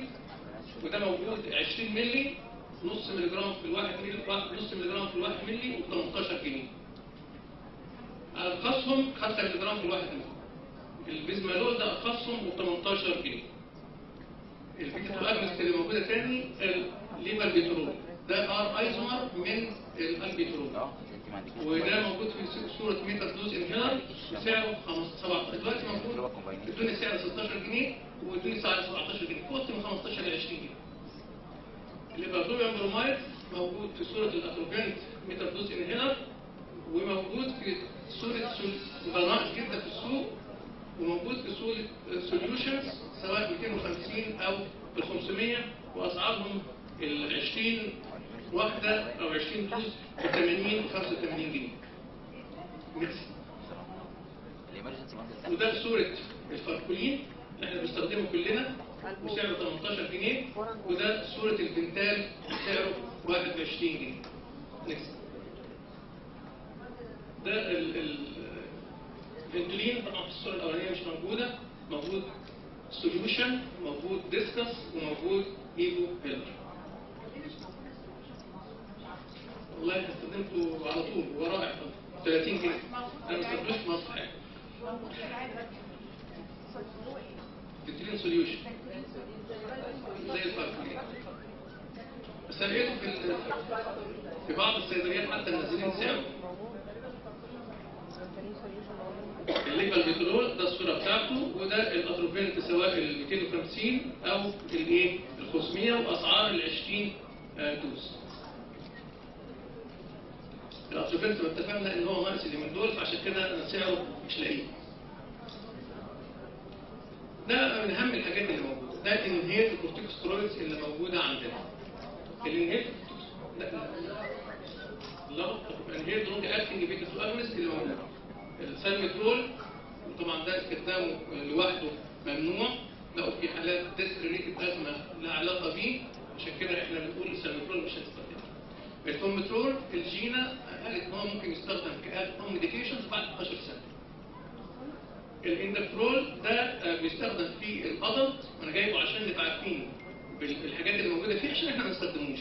أنا بلاقي أطفال عندهم 8 سنين مكتوب لهم ال Breezhaler ده اللي هو ال indacaterol.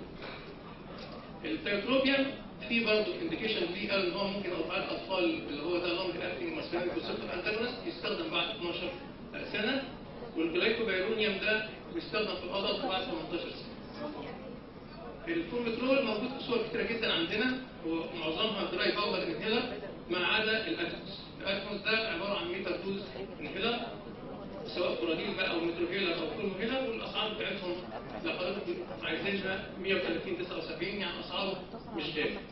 ال indacaterol ده بيستخدموه في في ال adult وأسعاره 230 جنيه في الكبسولات بتاعته حوالي 30 كبسوله وهو long acting بيتاخد مرة واحدة في اليوم بس إحنا مش هنستخدمه أنا جايبه عشان إحنا ما نستخدموش. ده صورة ال Atimos ده الوحيد اللي هو metered dose inhaler ده ال Foradil آه، 45 جنيه.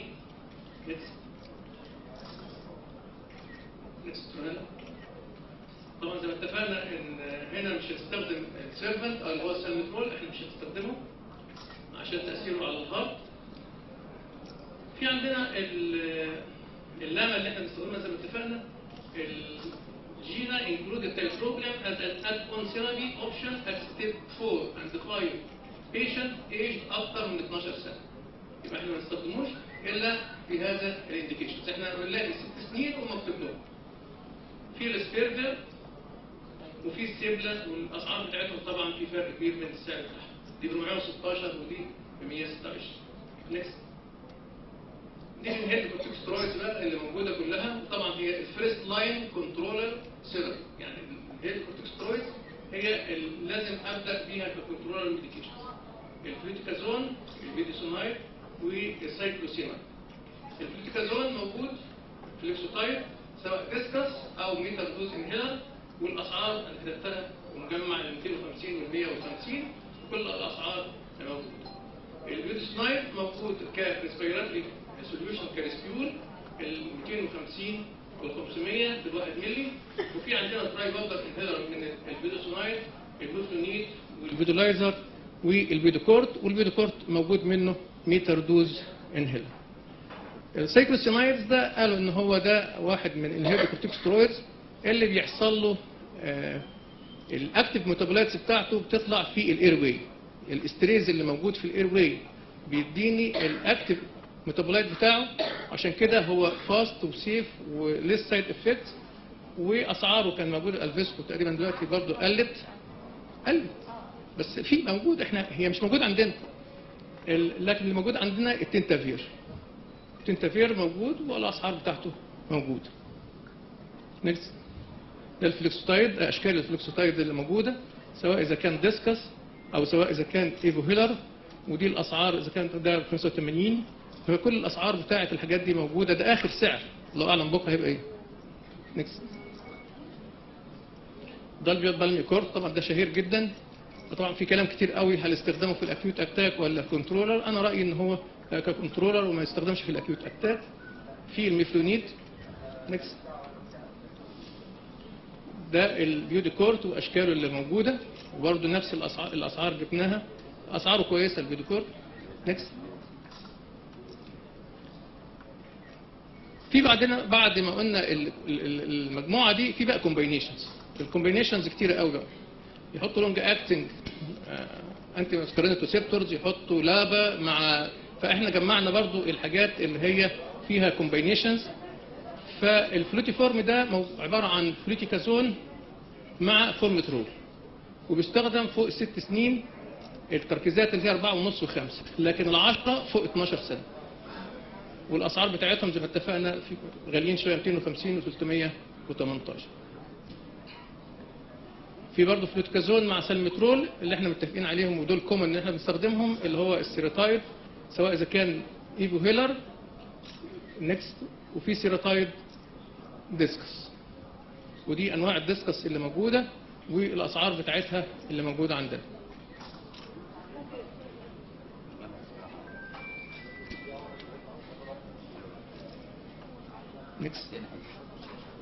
في برضه ال fluticasone مع ال salmeterol اللي هو ال Seroflo ودي أسعاره معقولة شوية وهو برضه ده Multihaler Diskus. الأسعار بتاعته 63 إلى 98 جنيه.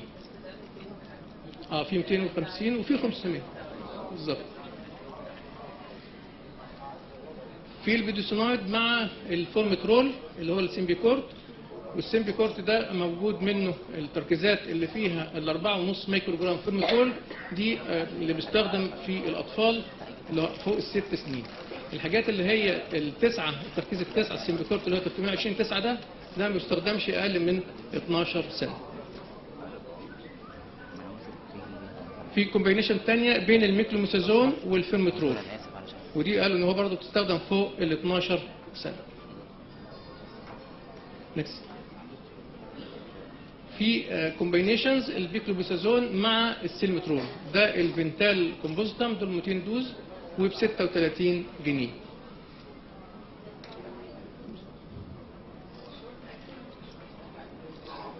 آه لا طبعا.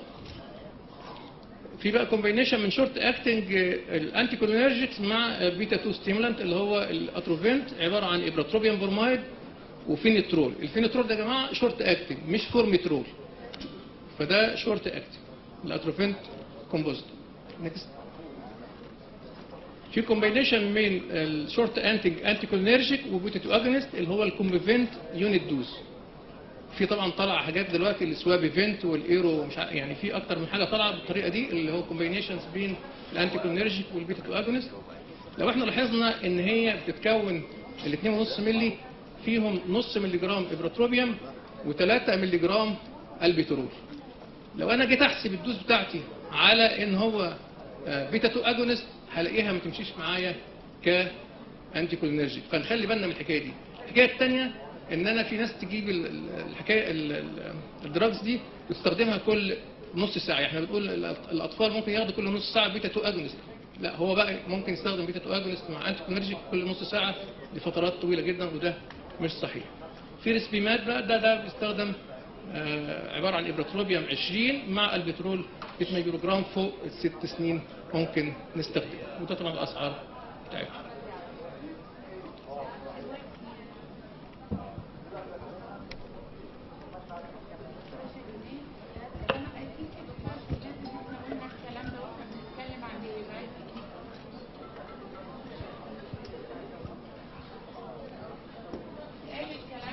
بنتكلم في الأول صح؟ آه آه آه آه بالظبط أوكي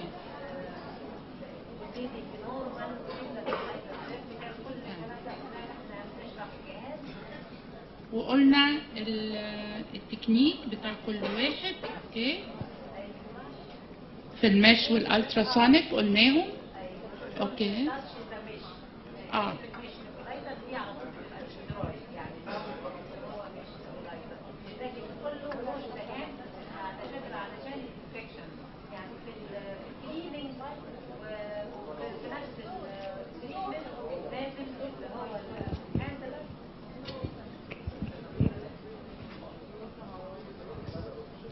يعني في ال washing of the hand لقوا إن من ال complication بتاعة ال nebulization ال infection وبعدين آه، آه، إحنا ال provider يعني غالبا بيبقوا الأطفال صغيرين وإحنا اللي بنعمل handling للجهاز فيا إما نلبس glove مع بين كل آه، طفل وطفلة يا إما نغسل إيدنا عادي عادي بالمية والصابون وننشف كويس قوي عشان ما ينفعش أمسك الجهاز وأنا إيديا wet ها؟ فدي من الخطوات المهمة. ولو العيان في ال ultrasonic nebulizer عايز intermittent doses لازم to turn off the nebulizer between ال doses يعني ما يسيبوش شغال على الفاضي وعلى المال بقول له استريح شوية هيبقى كده في waste لل drug آه، بتاعي. آه، ال- ال cleaning بقى نتكلم عن ال cleaning آه متأخرين.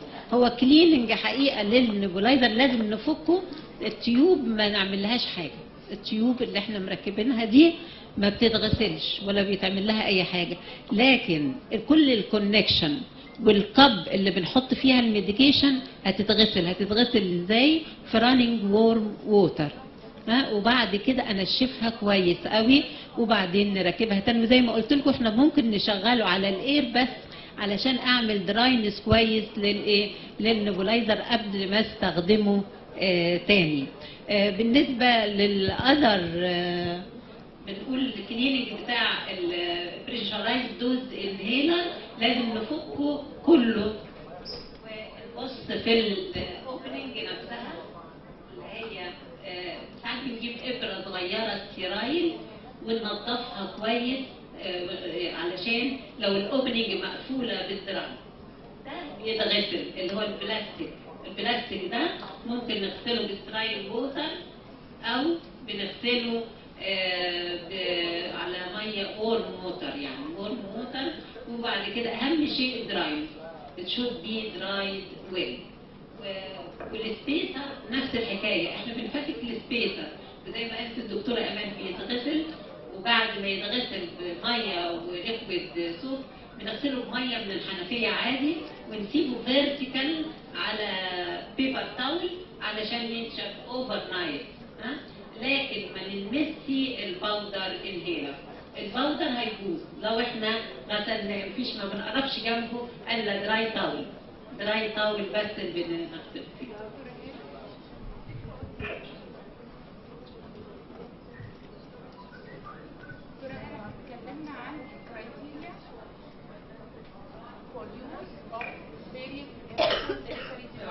عن إزاي هنستخدم ال aerosol devices زي ما إحنا شايفين عندنا أي سن أقل من ثلاث سنين ممنوع إن أنا أستخدم ال nebulizer أو ال pressurized metered dose inhaler من غير mask أو من غير mouthpiece أو من غير holding chamber dry powder inhaler محتاجة طفل كبير. طبعا هم كاتبين أكتر من أربع سنين لو هو cooperative وهيعرف يعمل ال coordination لكن زي ما إحنا قلنا زي ما الدكتورة أمان كانت بتقول أكتر من ست سنين وأكتر من ثمان سنين كمان.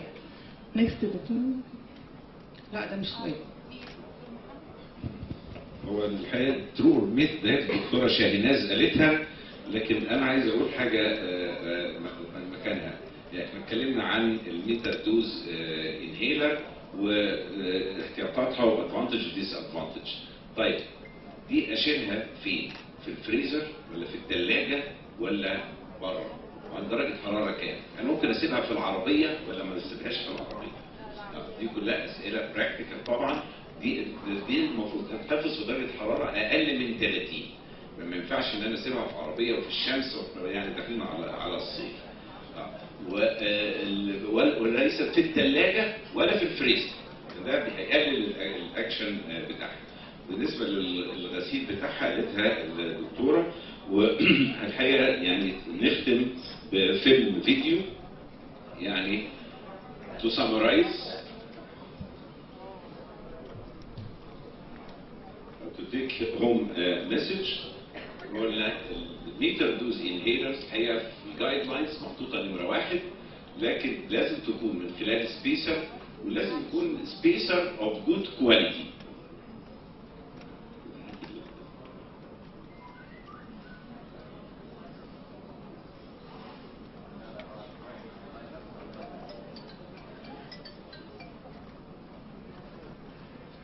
فاللي في مصر الحقيقة ال spacers مش كلها of good quality لو it's not of good quality ملهاش لازمة. يبقى في الحالة دي هنحط ال nebulizer نمرة واحد هنشوف هنا التكنيك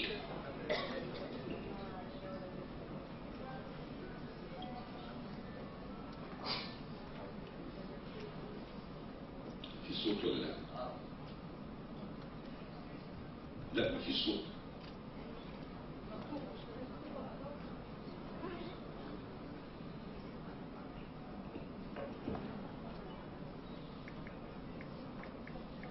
مش هرجعه تاني هو كل 1 مينت يعني لو بس عشان يبقى الصوت موجود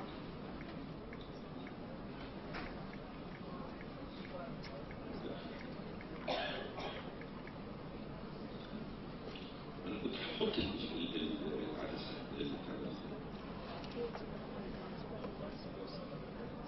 ليه الصوت ضعيف؟ أنا جايب سماعات عشان كده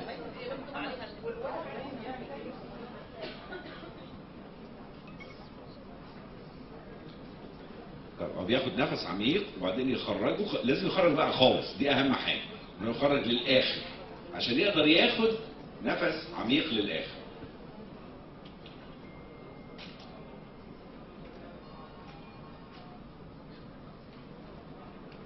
طبعا ما يسدوش بلسانه لسانه تحتيه press on the inhaler once. يضغط عليه مرة واحدة ما يكررش الضغطة.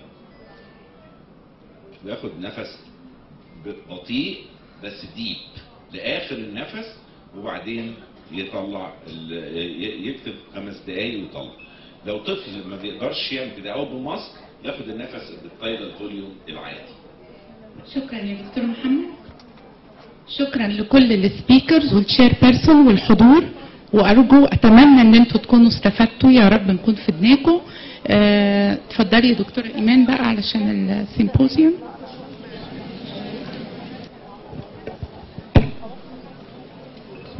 مش هعمل هنا ده. مايكل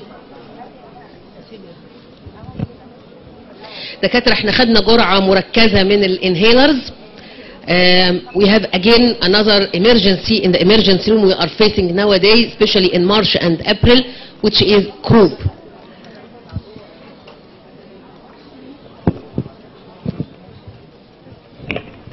يلا مايكل تعالى شغل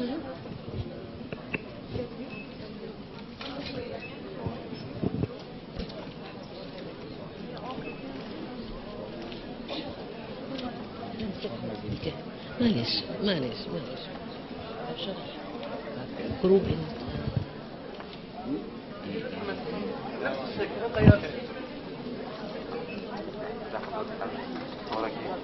هتمشي؟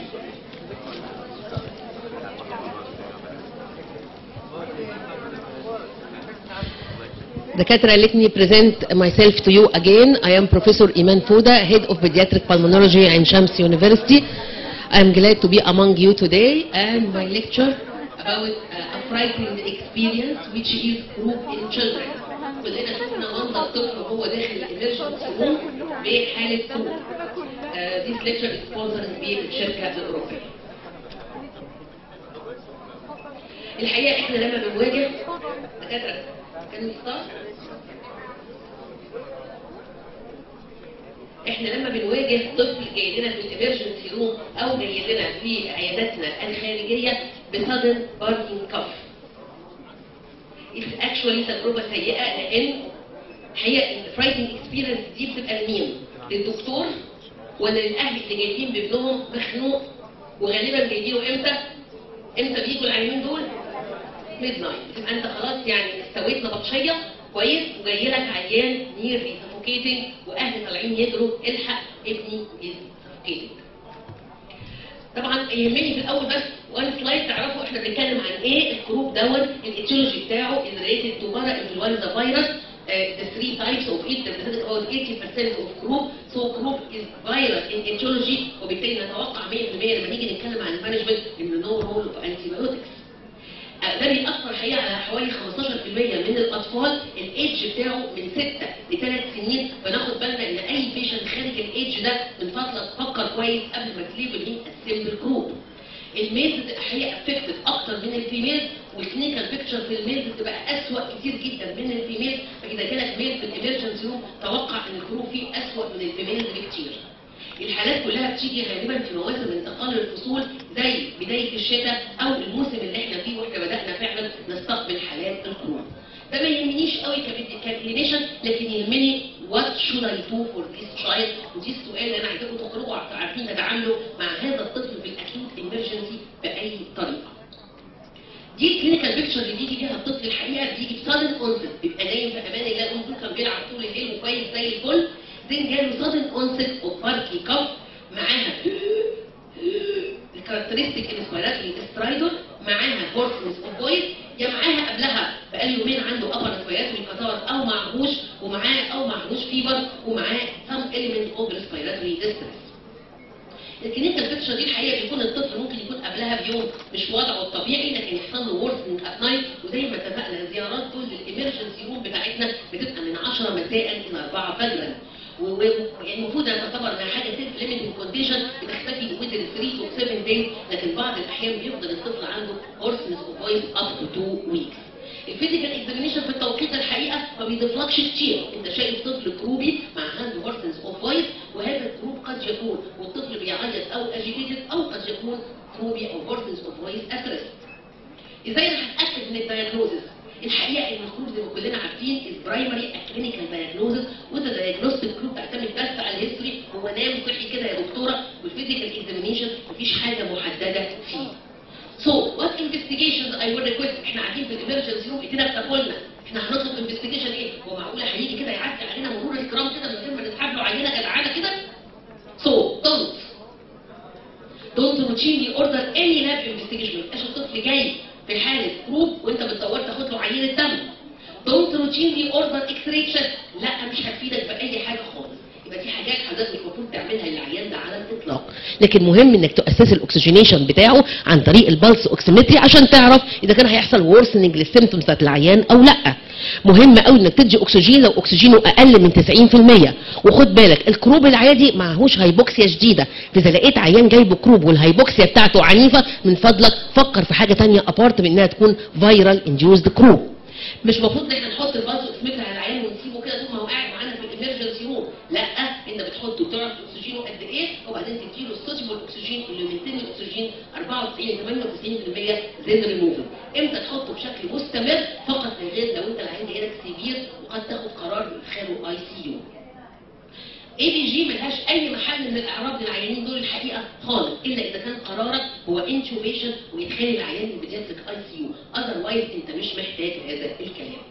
دي ال x-ray اللي إحنا كلنا اتعلمناها وإحنا طلبة إن إحنا لو عملنا x-ray لعيان عنده croup هنلاقي ال characteristic sign بتاعته اللي بنسميها steeple أو pencil sign اللي هي الحته كده في ال trachea اللي هي ال trachea مقفول لكن أنا عايزه أقول لك موجودة أو مش موجودة مش هيفرق معاك. لا في ال diagnosis ولا في ال treatment إذا أنت لست في حاجة إنك تعمل هذه ال x-ray لكن محتاج تعمل lateral x-ray neck actually لو أنت متوقع إن العيان ده عنده aspirated foreign body هي سبب ال croup بتاعته. لو عنده esophageal foreign body توقع لو عنده congenital subglottic stenosis لو عنده evidence of epiglottitis وجاي لك ب high fever 39 أو لو عنده query retropharyngeal abscess دي الحاجات تحطوا فيها x-ray lateral x-ray لل neck. Otherwise no role of the X-ray okay كان زمان متحضرين وإحنا نواب اوعى تحاول تبص على ال larynx بتاعت العيان لأن ده ممكن يعمل له vagal stimulation and arrest وأنا بأكد معاكم المعلومة دي أنت لست في حاجة إنك تبص لل larynx بتاعت العيان أو تحط visualize unless إن أنت متوقع anatomical malformation of the airway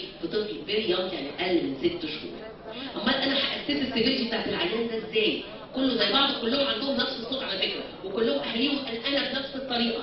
so how you are going to assess the severity هتستخدم score محدد عالميا وده ال approved عالميا اسمه Westley score بيعتمد على chest wall retraction chest wall retraction stridor ال cyanosis level of consciousness and air entry وبتدي العيان score من 0 إلى 5 for example العيان لو cyano لو ما عندوش cyanosis مش هياخد هياخد zero العيان لو cyanosis with agitation ياخد أربعة و cyanosis at rest بياخد خمسة. وبتدي العيان score من 0 ل 17 وبعدين هنستخدم ال score ده بالطريقة اللي هنتكلم عنها مع بعض دلوقتي. okay أنا clinician أنا عايز أتصرف بقى مع العيان ده. طريقة تصرفك في ال emergency room قائمة على ال degree of respiratory distress بس أول حاجة مطلوبة من حضرتك to keep ال child as comfortable as he can اعمل your examination اعمل your assessment للعيان في حضن باباه أو مامته بهذا الشكل. لأن once إن العيان بقى agitated يا جماعة العيان ال clinical picture هتسوق up to cyanosis okay؟ أنا عملت ال Westley score أقسم عياني إلى mild لو ال score بتاعه أقل من 3 medium لو ال score بتاعه من 3 إلى 6 و severe لو ال score بتاعه أكتر أو equal 8 مهم قوي الأرقام دي يا جماعة. ما قدرش نستخدم على عيان عشوائي.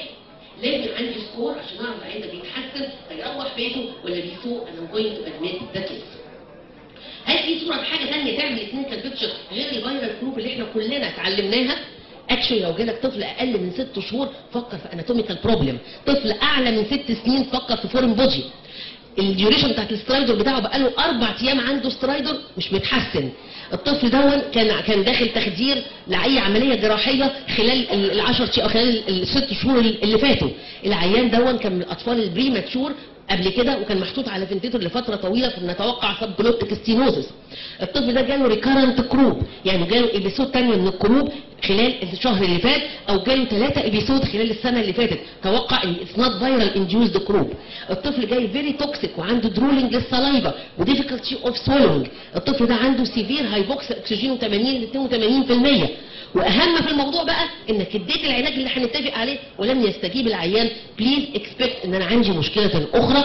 اخش في differential diagnosis زي ال acute epiglottitis إن عنده peritonsillar abscess يبقى عنده foreign body يبقى عنده allergic reaction يبقى عنده congenital anomaly في ال airways القصة اللي بحكيها لكم دي طفل أنا شفته بعيني رأسي. الطفل دون جاني عمره ثلاث سنين جه ال emergency room croup بقاله خمس أيام duration وكان فيه poor response واخد ستيرويد حسبتها معاه معدي 40 مللي جرام في اليوم وخد adrenaline nebulizer لما قال يا كفى بس no response ده المنظر بتاع الطفل إحنا لقينا فيه دبوس مشبك داخل above ال epiglottis زي ما أنتم شايفين. الحالة دي مش خيال ولا جايباها من على النت الحالة دي أنا شفتها بنفسي. ف please الطفل اللي non typical picture أو اللي هو مش responded بال management please revise إنك تعمل له more further investigation okay what's my line of treatment ال cornerstone حاجتين ما لهمش تالت. corticosteroid and adrenaline ما عنديش أي line تاني. أي حاجة تانية؟ non evidence based ناخد أدرينالين كلنا بنقرأ في الكتاب what is called as racemic epinephrine الحقيقة racemic epinephrine هو epinephrine مكون من two isomers من ال epinephrine اللي هما ال D وال L isomer كل مميزاته ك epinephrine إن ال concentration بتاعه عالي. كل ملي فيه 22.5 مللي جرام من الادرينالين ده بس كل مميزاته. طب هو مش موجود عندنا في مصر. هنلجا بداله لل epinephrine بس ال concentration مختلفه لو أنا هكلمكم عن ال اللي هو ده الموجود. ال epinephrine بناخد نص ملي per kg per dose maximum بتاعك ما تعديش 5 ملي وبناخدها over 15 minutes ال racemic epinephrine الموجود في ال guideline وال L epinephrine نقدر نستخدمهم الاثنين بنفس الكفاءة. مفيش أي فروق بينهم. بس خد بالك عمر ال epinephrine هيكون ال first line of treatment بتاعك على الإطلاق. ال epinephrine usually reserved بال moderate وال severe لأن إحنا أول ما العيان بيجي لنا في ال emergency room ما بنلحقش نقيم العيان ده اخباره إيه؟ بسرعة ندي adrenaline. no it is not according to the guidelines. Racemic epinephrine is not first line of treatment the only زي ما هنتكلم مع بعض. what about ال steroid الحقيقة ال Cochrane في سنة 2018 قالت إن الستيرويد بتمبروف الكروب سيمتومز بقى 2 اورز والايفكت بتاعها بيستمر 24 ساعة. بتقلل ال rate لأن العيان يروح ويرجع لك تاني بتقلل ال rate of admission وبتقلل ال rate of readmission ولما قارنوها ببلاسيبو وجدوا إن أنا لو عندي 1000 طفل اديتهم بلاسيبو 204 منهم هياخدوا علاج ويرجعوا لك تاني ال emergency room 74 في بس في حالة العيان اللي خد ال glucocorticoid اللي هيرجع لك تاني seeking medical advice لو أنا هدخل العيان اعطاء الستيرويد في very early first line of treatment بتقلل ال stay of the hospital 15 ساعة. وناخد بالنا إن إحنا كلنا عارفين إن إحنا هندي الاستيرويد لكن لو عملنا survey للمجموعه اللي قاعدة لن يتفق اثنين مننا إحنا هناخد إيه؟ وإزاي؟ وقد إيه؟ وكم مرة؟ So my question now what form of steroid? And the dose and mode of intake this is the guidelines. Dexamethasone single oral dose تتاخد لكل ال patient مش محتاج تضيع وقت في regard ال severity وممكن نستخدمها ال IV IM و no evidence support إن أنا أدي dose أخرى. so only single dose ال single dose دي الحقيقة آه، طويلة الأكشن تقعد العيان من 4 ل 24 ساعة وبالتالي أنت مش محتاج تدي جرعات إضافية. ال long half life بتاعه بيضمن لك effect لفترة طويلة. ال dexamethasone ال dose بتاعته 0.6 مللي جرام per kg وال dose دي يا oral يا IM يا IV حسب ما حالة العيان تسمح أوكي. what about nebulized steroids كلنا قلنا عن nebulized steroid في ال emergency room So what's my evidence in using nebulized steroid in a case of croup؟ نراجع مع بعض هي قصة ال nebulized budesonide مع ال croup بدأت من سنة 94 خدوا الأطفال اللي من 3 شهور لخمس سنين وعملوا لهم ال score ووجدوا إن ال median score بتاعهم بمجرد ما استخدمنا ال budesonide الحقيقة بقى lower in compared to the placebo. في نفس التوقيت اللي خدوا ال budesonide very early كان discharge من ال emergency room earlier عن اللي خدوا ال placebo وال conclusion بتاعت ال paper دي بتقول إن nebulized budesonide بتؤدي إلى important clinical improvement للعيانين بدءا من ال mild to moderate improvement بعدها سنة 98 اتعملت randomized control trial الحقيقة عن ال nebulized budesonide في حالين الستيرويد واستخدموا ال hospitalization rate وال change في ال croup آه، score اللي بقينا كلنا عارفينه ولقينا إن ال final rate of hospitalization وال significantly lower للأطفال اللي خدت ال glucocorticoid مقارنة بالبلاسيبو ولقوا إن ال dexamethasone وال inhaled budesonide تقريبا حققوا نفس النتيجة. سنة 2002 كانت ندي oral ولا nebulized which is better for croup وقالوا الحقيقة إن ال evidence قالت إن استخدام ال nebulized budesonide بيقلل emergency room visits بيقلل number hospitalization وبيؤدي إلى faster resolution لل croup manifestation وإن ال benefit بتبقى equivalent لل oral dexamethasone وإنه الاثنين أحسن من ال croup. ناخد بالنا إن في papers بتقول إن أنا لو خدت budesonide مع oral dexamethasone هحصل على نتائج أفضل كتير جدا من استخدام الديكساميثازون وعشان كده سنة 2002 ال guidelines حطت للعيانين ال moderate croup أما إما oral dexamethasone أو nebulized budesonide خدوا بالكم من الجرعه 2 مللي جرام large dose دي اتعملت هذه ال paper سنه 2004 وقالت إن ال nebulized budesonide مع ال oral وال parenteral dexamethasone ليهم ال same effect in management of croup وإن مساله متروكة ليه إذا كان ال drug ده available في ال emergency room أو لا. ال New England Journal of Medicine الحقيقة عملت comparison ما بين استخدام ال nebulized budesonide وال dexamethasone oral أو intramuscular في ال severe croup وقالت إن استخدامهم الاثنين الحقيقة قلل ال few of hospitalization by the same degree. المقارنة كمان ما بين ال budesonide وال placebo في تأثيرهم على ال croup score وال respiratory rate وال heart rate كانت النتائج الحقيقة لصالح استخدام ال inhaled steroid في عيانين ال croup ودي 2014 بتقارن ما بين ال budesonide لوحده الديكساميثازون لوحده والاثنين مع بعضيهم و concluded ان ال nebulized budesonide in this dose 2 milligram can be given alternatively to the patient who do not tolerate ال oral dexamethasone دي اخر guidelines 2018 considers guidelines for management of croup till final لل management of croup وقالت ان ال budesonide single nebulized dose ده بيبقى ليه نفس ال efficacy بتاعت الديكساميثازون يعني بيقولوها بس بالنسبة لهم expensive medication وبتعتبر إن هو بديل عن الديكساميثازون في الأطفال اللي عندها vomiting أو اللي عندها severe respiratory distress وفي بعض الاحيان الأهل بيبقى لهم جاي suffocated لكن رافض إنه يستخدم systemic steroid مهم الجملة الأخيرة role. Of prednisone and prednisolone are not recommended at all for cases of group. This is guidelines you want to follow the guidelines. Should I give antibiotics? هسألك السؤال الثاني. واي هترد الإجابة الشهيرة بروفيلاكتيك أو بروفيلاكتيك لإيه الحقيقة in the straightforward case no role of antibiotics at all. هتستخدمها بس لو العيان ده سيفير وسيفيرلي توكسيك وأنا هاخد قرار بدخوله المستشفى. فانفستيجيت اذا كان في سكندري بكتيريال انفكشن وات اباوت الميديكيشن صبغه الجوا وشركائها كنا الحقيقة إحنا كلنا اتعلمنا على هذه الطريقة إن إحنا بندي للعيال some form of humidification بانها بتقلل ال croup severity وال hospitalization لكن عايزه أقول لكم إن ال guidelines شايلاها بالكامل. no role of this humidification when I'm going to send the patient home هو لسه حسه مبحوح ولسه عنده stridor ال criteria no or minimal stridor at rest. No or minimal work of breathing. ما عندوش intercostal retraction. قادر إنه يتكلم وياكل من غير difficulty. مع ساعتين من آخر جزء جرعه من ال racemic epinephrine وهو مش محتاج ياخد اكسجين وفي نفس الوقت أكيد الأكيد أنا اديت ديكساميثازون أو اديت budesonide هو أنا هدخله المستشفى نادرا لما بنلاقي عيانين الحقيقة طول بيخشوا المستشفى.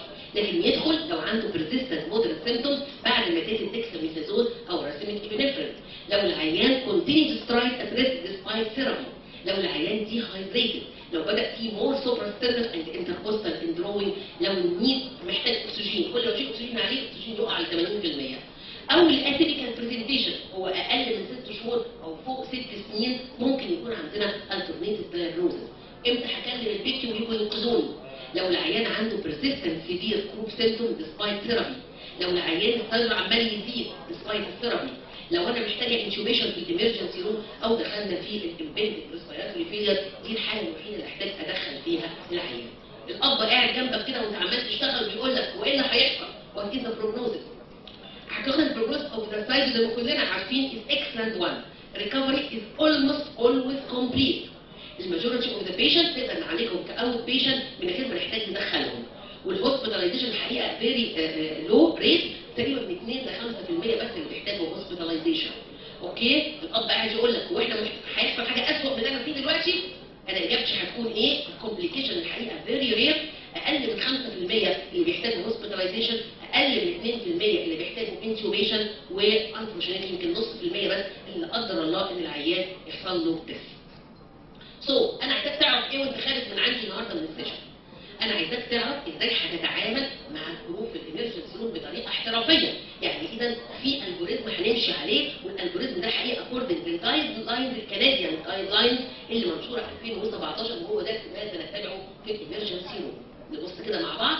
لو العيان mild okay؟ mild يعني إيه؟ يعني ال score بتاعه أقل من 3 انت هتدي oral dexamethasone 0.6 مللي جرام per kg of body weight وتقدر تخرج العيان من غير further observation لو هو moderate يعني إيه moderate؟ يعني ال score بتاعه من 3 إلى 8 انت هتدي العيان oral dexamethasone 0.6 مللي جرام per kg per body weight بس مش هتمشيه. أنت هت observe for improvement عشان تعرف إذا كنت هتاخد خطوة أخرى أو لأ. okay العيان بقى ال severe اللي عنده marked chest retraction بصوا كده كمان الادرينالين ما كانش موجود في ال two lines في ال two degrees دي قبل كده. هنستخدم nebulized epinephrine ال racemic أو ال L-adrenaline بالجرعة اللي اتكلمنا عليها.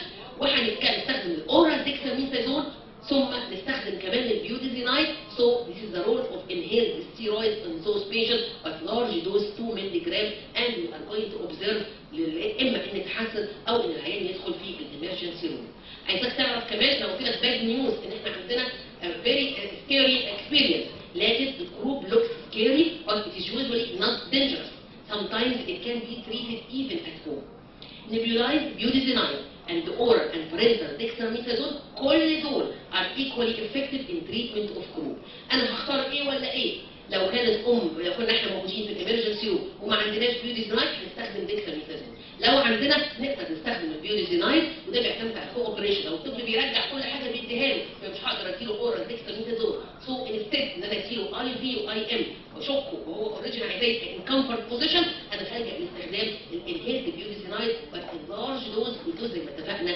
2 مللي جرام and thank you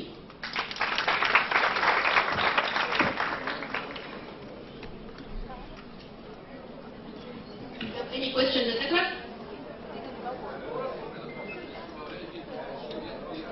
بص يا دكتور ال oral كله فعلا الموجود في سوق الحاجات قليلة بس هم وجدوا إن العيان ممكن يتحسن بدوزة 0.15 تمام؟ فان 0.15 وانت you are able ان انت ترفع الجرعه ل 0.6 تمام؟ وبالتالي أنا عارف ان الدكتور بتاعت ال preparation من غير ذكر اساميها لكن انت ممكن تظبط الجرعه على هذا if you fail تماما وهياخد جرعه كبيرة بالنسبة لعمر الطفل تقدر تدي injection.